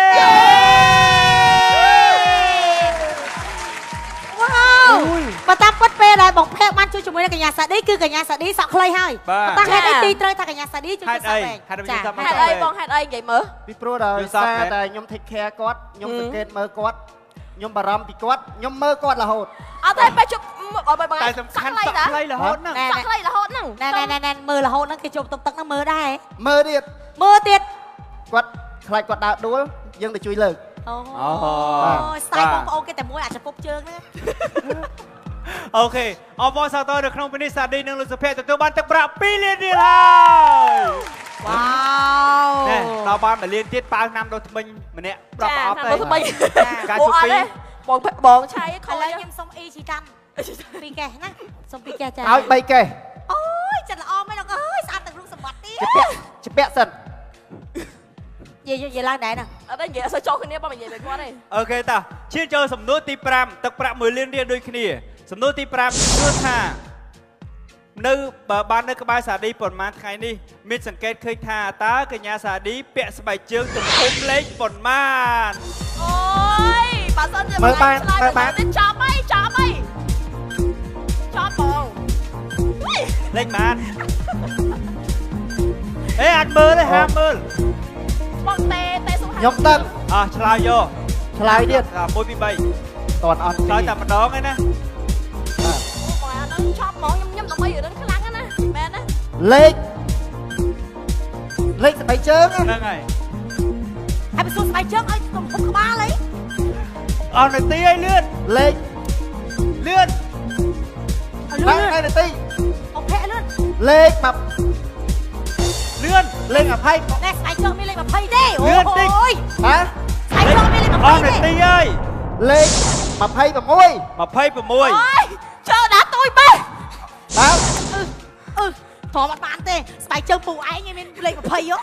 មកកាត់សួយចឹងអូខេអឺបងឯងថាអូតើយចម្លើយ26ត្រឹមត្រូវទេទេសូមទស្សនាចម្លើយដូចតទៅទៅ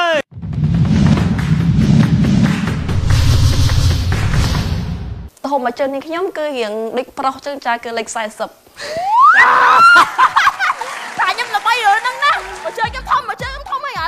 លេខម៉ានលេខម៉ានលេខ40សាឌីជើងណៃធំមកជើងជើងធំជាងប៉ាមកទៀតចុះអត់ទេហើយបងឯងមិនអត់សួរគេងខ្ញុំត់ពាក់តែជើងលេខ34គាត់មិនធំជាងខ្ញុំ40ស្រីអូ40មនុស្សស្រីទៀតហ្នឹងហើយអត់បញ្ជាក់មែនអត់សួរថាស្រីប្រុសផងអឺហើយសាឌីនោះសាឌីនោះប្ដោមែនទេយាយសាឌីនៅខ្ទើយអីអត់ដែរ អត់ដែរអ្នកលក់ប្រាប់ថាអូបើជើងទំហំអឺលេខប៉ុណ្ណេះក៏ហៅបងមនុស្សស្រីអអូត់យទេព្រះឡាយបាទអូយអូខេលោកនេះជាបទពិសោធន៍នៃការកំណត់ចំណាំបរោះបរោះទាំងឡាយសំខាន់បំផុតមិត្តភ័ក្តិឬមួយក៏មនុស្សដែលយើងស្រឡាញ់យើងត្រូវស្គាល់លេខគេហៅថាទំហំចង្កេះឬមួយក៏លេខស្បែកជើងនេះគឺត្រូវតែច្បាស់ហ្មងចូលចិត្តពោអីត្រូវតែបើសិនបើយើងអត់យល់អឺពីចំណង់ចំណូលចិត្តរបស់ដៃគូរបស់យើងទេគឺចង់យើងបាត់ទឹកប្រាក់តែបាទសំខាន់ណាស់ជើងលេខ26ជើងឯគេបងលេខ26ខ្ញុំកំពុងតែឆ្ងល់ថា ជើងមនុស្សប្រុស32 34ដល់ពេលមនុស្សស្រីគួរតែទូជាងហ្នឹងបាទហើយតែលេខមនុស្សស្រីគឺ34នេះជើងខ្ញុំជើង34ណាជើងខ្ញុំ34ណាមិន34អានេះមានលក្ខណៈ37 38លក្ខណៈអឺបើខ្មែរនឹងអាចតែបើអឺរ៉ុបជើងធំធំដូចខ្ញុំ34អូខេឥឡូវយើងលេងវិភាគឲ្យព្រោះបាត់អឺទឹកប្រាក់1លានរៀលទៀតហើយចាបាទសួរសំណួរចុចុងងក្រោយក្រោយទុកឲ្យកញ្ញាកុសមាជាអ្នកសួរទៅចោះបាទចាអូខេសម្រាប់សំណួរទី6តើ ត្រៀមខ្លួនទេត្រៀមហើយអឺខ្ញុំឆ្លើយបានទេបងអត់បានទេអត់បានទេអត់បានទេហ៎តើកញ្ញាសាឌីស្រឡាញ់អ្វីជាងគេនិងស្អប់អ្វីជាងគេណាគេអ្នកឆ្លើយខ្ញុំហ៎អូយខ្ញុំហើយកុំសួរអស់នាទីអីតោះ1 2 3អូខេចង់និយាយថាឲ្យឲ្យតែដឹងពីគាត់ហើយចាចាចាគាត់ស្អប់អីស្អប់ហើយដឹងហើយហ្នឹងហើយស្រឡាញ់អីជាងគេស្រឡាញ់ស្អប់អីជាងគេអត់ពាក់ព័ន្ធអីទាំងអស់ហើយអត់ចិត្តឆ្លើយក៏ត្រូវដែរបាទបងហ្នឹងលុយមិនរៀនដល់ច្រើនណាស់ណា គាត់អត់ចូលចិត្តអ្នកនិយាយច្រើនគាត់អូខេគាត់និយាយទៅគាត់ខ្ពើមហ្មងអូខេស្រឡាញ់ទី1យាយហូមួយមកស្អប់តែនិយាយច្រើនទី2ស្រឡាញ់ណានិយាយទៅគាត់គាត់ស្រឡាញ់យើងឃើញច្រើនស្រឡាញ់គេតើរស់មួយរើសមួយស្រឡាញ់ជាងតែគេក្នុងហ្នឹងគាត់និយាយពេញអស់ហើយបាទបើនិយាយពីរាល់ថ្ងៃគាត់ស្រឡាញ់គេគាត់ជួ យទូរស័ព្ទអូខេបាទអូខេអូយហើយហើយត្រូវនិយាយពណ៌ទៀតអត់អរេបាច់ទេតែប៉ុណ្ណឹងបានហើយអូខេចម្លើយលោកពេកឆ្លើយថាស្រឡាញ់ទូរស័ព្ទជួយចិត្តចុចទូរស័ព្ទហើយស្អប់ជាងគេគឺមនុស្សនិយាយច្រើនសូមជ័យបង្ហាញចម្លើយ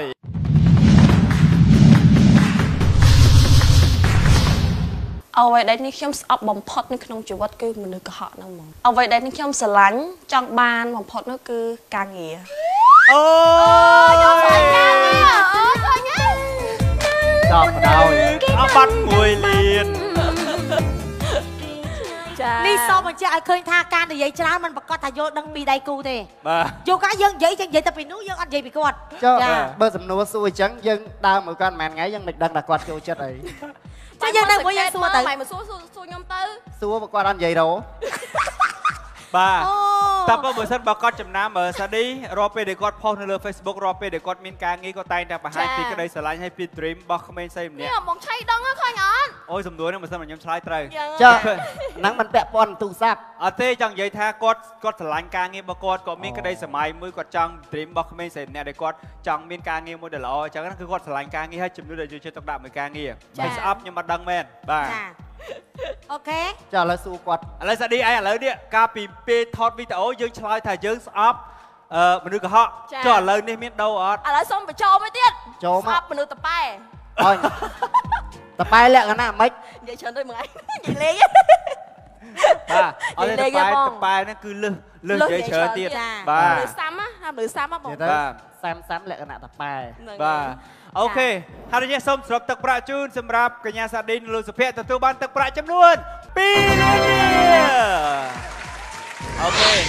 អបអរសាទរដល់សាឌីនិងលោកសុភ័ក្របាទបើទោះបីជាយ៉ាងណាក៏យើងបានរហូតទៅដល់2លានដែរបាទសំណួរឆ្លើយត្រូវពីសំណួរបាទសាឌីមានអារម្មណ៍មិនដែរបាទឲ្យនិយាយតំណាងលោកសុភ័ក្រ ចាបាញ់យាយបងចាមានអារម្មណ៍ថាសប្បាយមែនតើនៅពេលដែលបានចូលរួមជាមួយនឹងកម្មវិធី The Friend ចាបានស្វែងយល់ជាមួយនឹងមនុស្សថ្មីថ្មីបានកសាងមិត្តថ្មីគឺបងសុភ័ក្រផងដែរចង់និយាយថាគាត់និយាយច្រើនមែនប៉ុន្តែគាត់ក៏ចេះថែខែខ្ញុំផងដែរពេលខ្លះមិនមែនថាពេលកតៃមួយខ្ញុំទេចាចេះសួរអីចឹងគាត់ណាក៏សួរខុសសំណួរ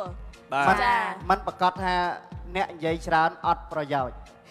ហើយតែអឺបាត់2លានដែរបាទ2លានរៀល2លានមិញគឺលោកសុភ័ក្រអាចឆ្លើយត្រូវទេបាទចាដោយសារតែការនិយាយច្រើនអឺសំណួរនេះខ្ញុំមួយគាត់ថ្ងៃមហូបថ្ងៃមហូបអឺគឺសាឌីជួយឆ្លើយដែរចាបាទអេម្នាក់ម្នាក់បែងចាហើយចង់និយាយថាអើយអរគុណមែនតើដែលបានស្គាល់បងភ័ក្រចាបាទហើយជាមិត្តល្អមិត្តថ្មីរបស់ខ្ញុំគាត់ចាបាទអញ្ចឹងខ្ញុំក៏សូមអរគុណកម្មវិធី The Friend បាទបាទអញ្ចឹងសម្រាប់កម្មវិធីនេះគឺឲ្យខ្ញុំបានស្គាល់ ពីមិត្តថ្មីហើយនឹងស្គាល់អត្តចរិតរបស់មិត្តថ្មីដែរបាទបាទពេលខ្លះខ្ញុំនិយាយច្រើនខ្ញុំតប៉ែធ្វើឲ្យខ្ញុំកែតម្រូវឡើងវិញកុំឲ្យតប៉ែទៀតបាទ តាមពិតទៅគឺនៅពេលដែលយើងរកបានមិត្តភ័ក្តិយើងស្វែងយល់ថាតើដូចជាគាត់ជាមនុស្សស្រីតែគាត់ចូលចិត្តបែបណាគាត់យើងគួរតែធ្វើខ្លួនបែបណាហើយមួយវិញទៀតមិនមែនត្រឹមតែគូជីវិតទេដែលយើងត្រូវតែចេះ take care ពីគ្នាសូម្បីតែមិត្តភ័ក្តិរកបានគ្នាក៏ដោយក៏យើងត្រូវចេះជួយគ្នាដែរដូចជាគាត់ជាមនុស្សស្រីដែលទុនសាវជាមនុស្សប្រុសមនុស្សប្រុសក្នុងនាមជាមិត្តភ័ក្តិត្រូវតែជួយគាត់ take care គាត់ដូចចិត្តទុកដាក់ពីគ្នាទៅវិញទៅមកទើបអាចនិយាយបានថាជាមិត្តភ័ក្តិល្អបាទចាអរគុណច្រើនពីកម្មវិធីសូមអរគុណដល់តារាកិត្តិយសទាំង14រូបចាអរគុណច្រើនអរគុណដល់បណ្ដា sponsor ទាំងអស់ផងដែរនៅពេលនេះពីកម្មវិធីសូមអរគុណសូមគោរពលាជួបគ្នាសប្តាហ៍ក្រោយបានពីពីលៀនពីពីលៀនពីលៀនពីភ្ញាក់តាំង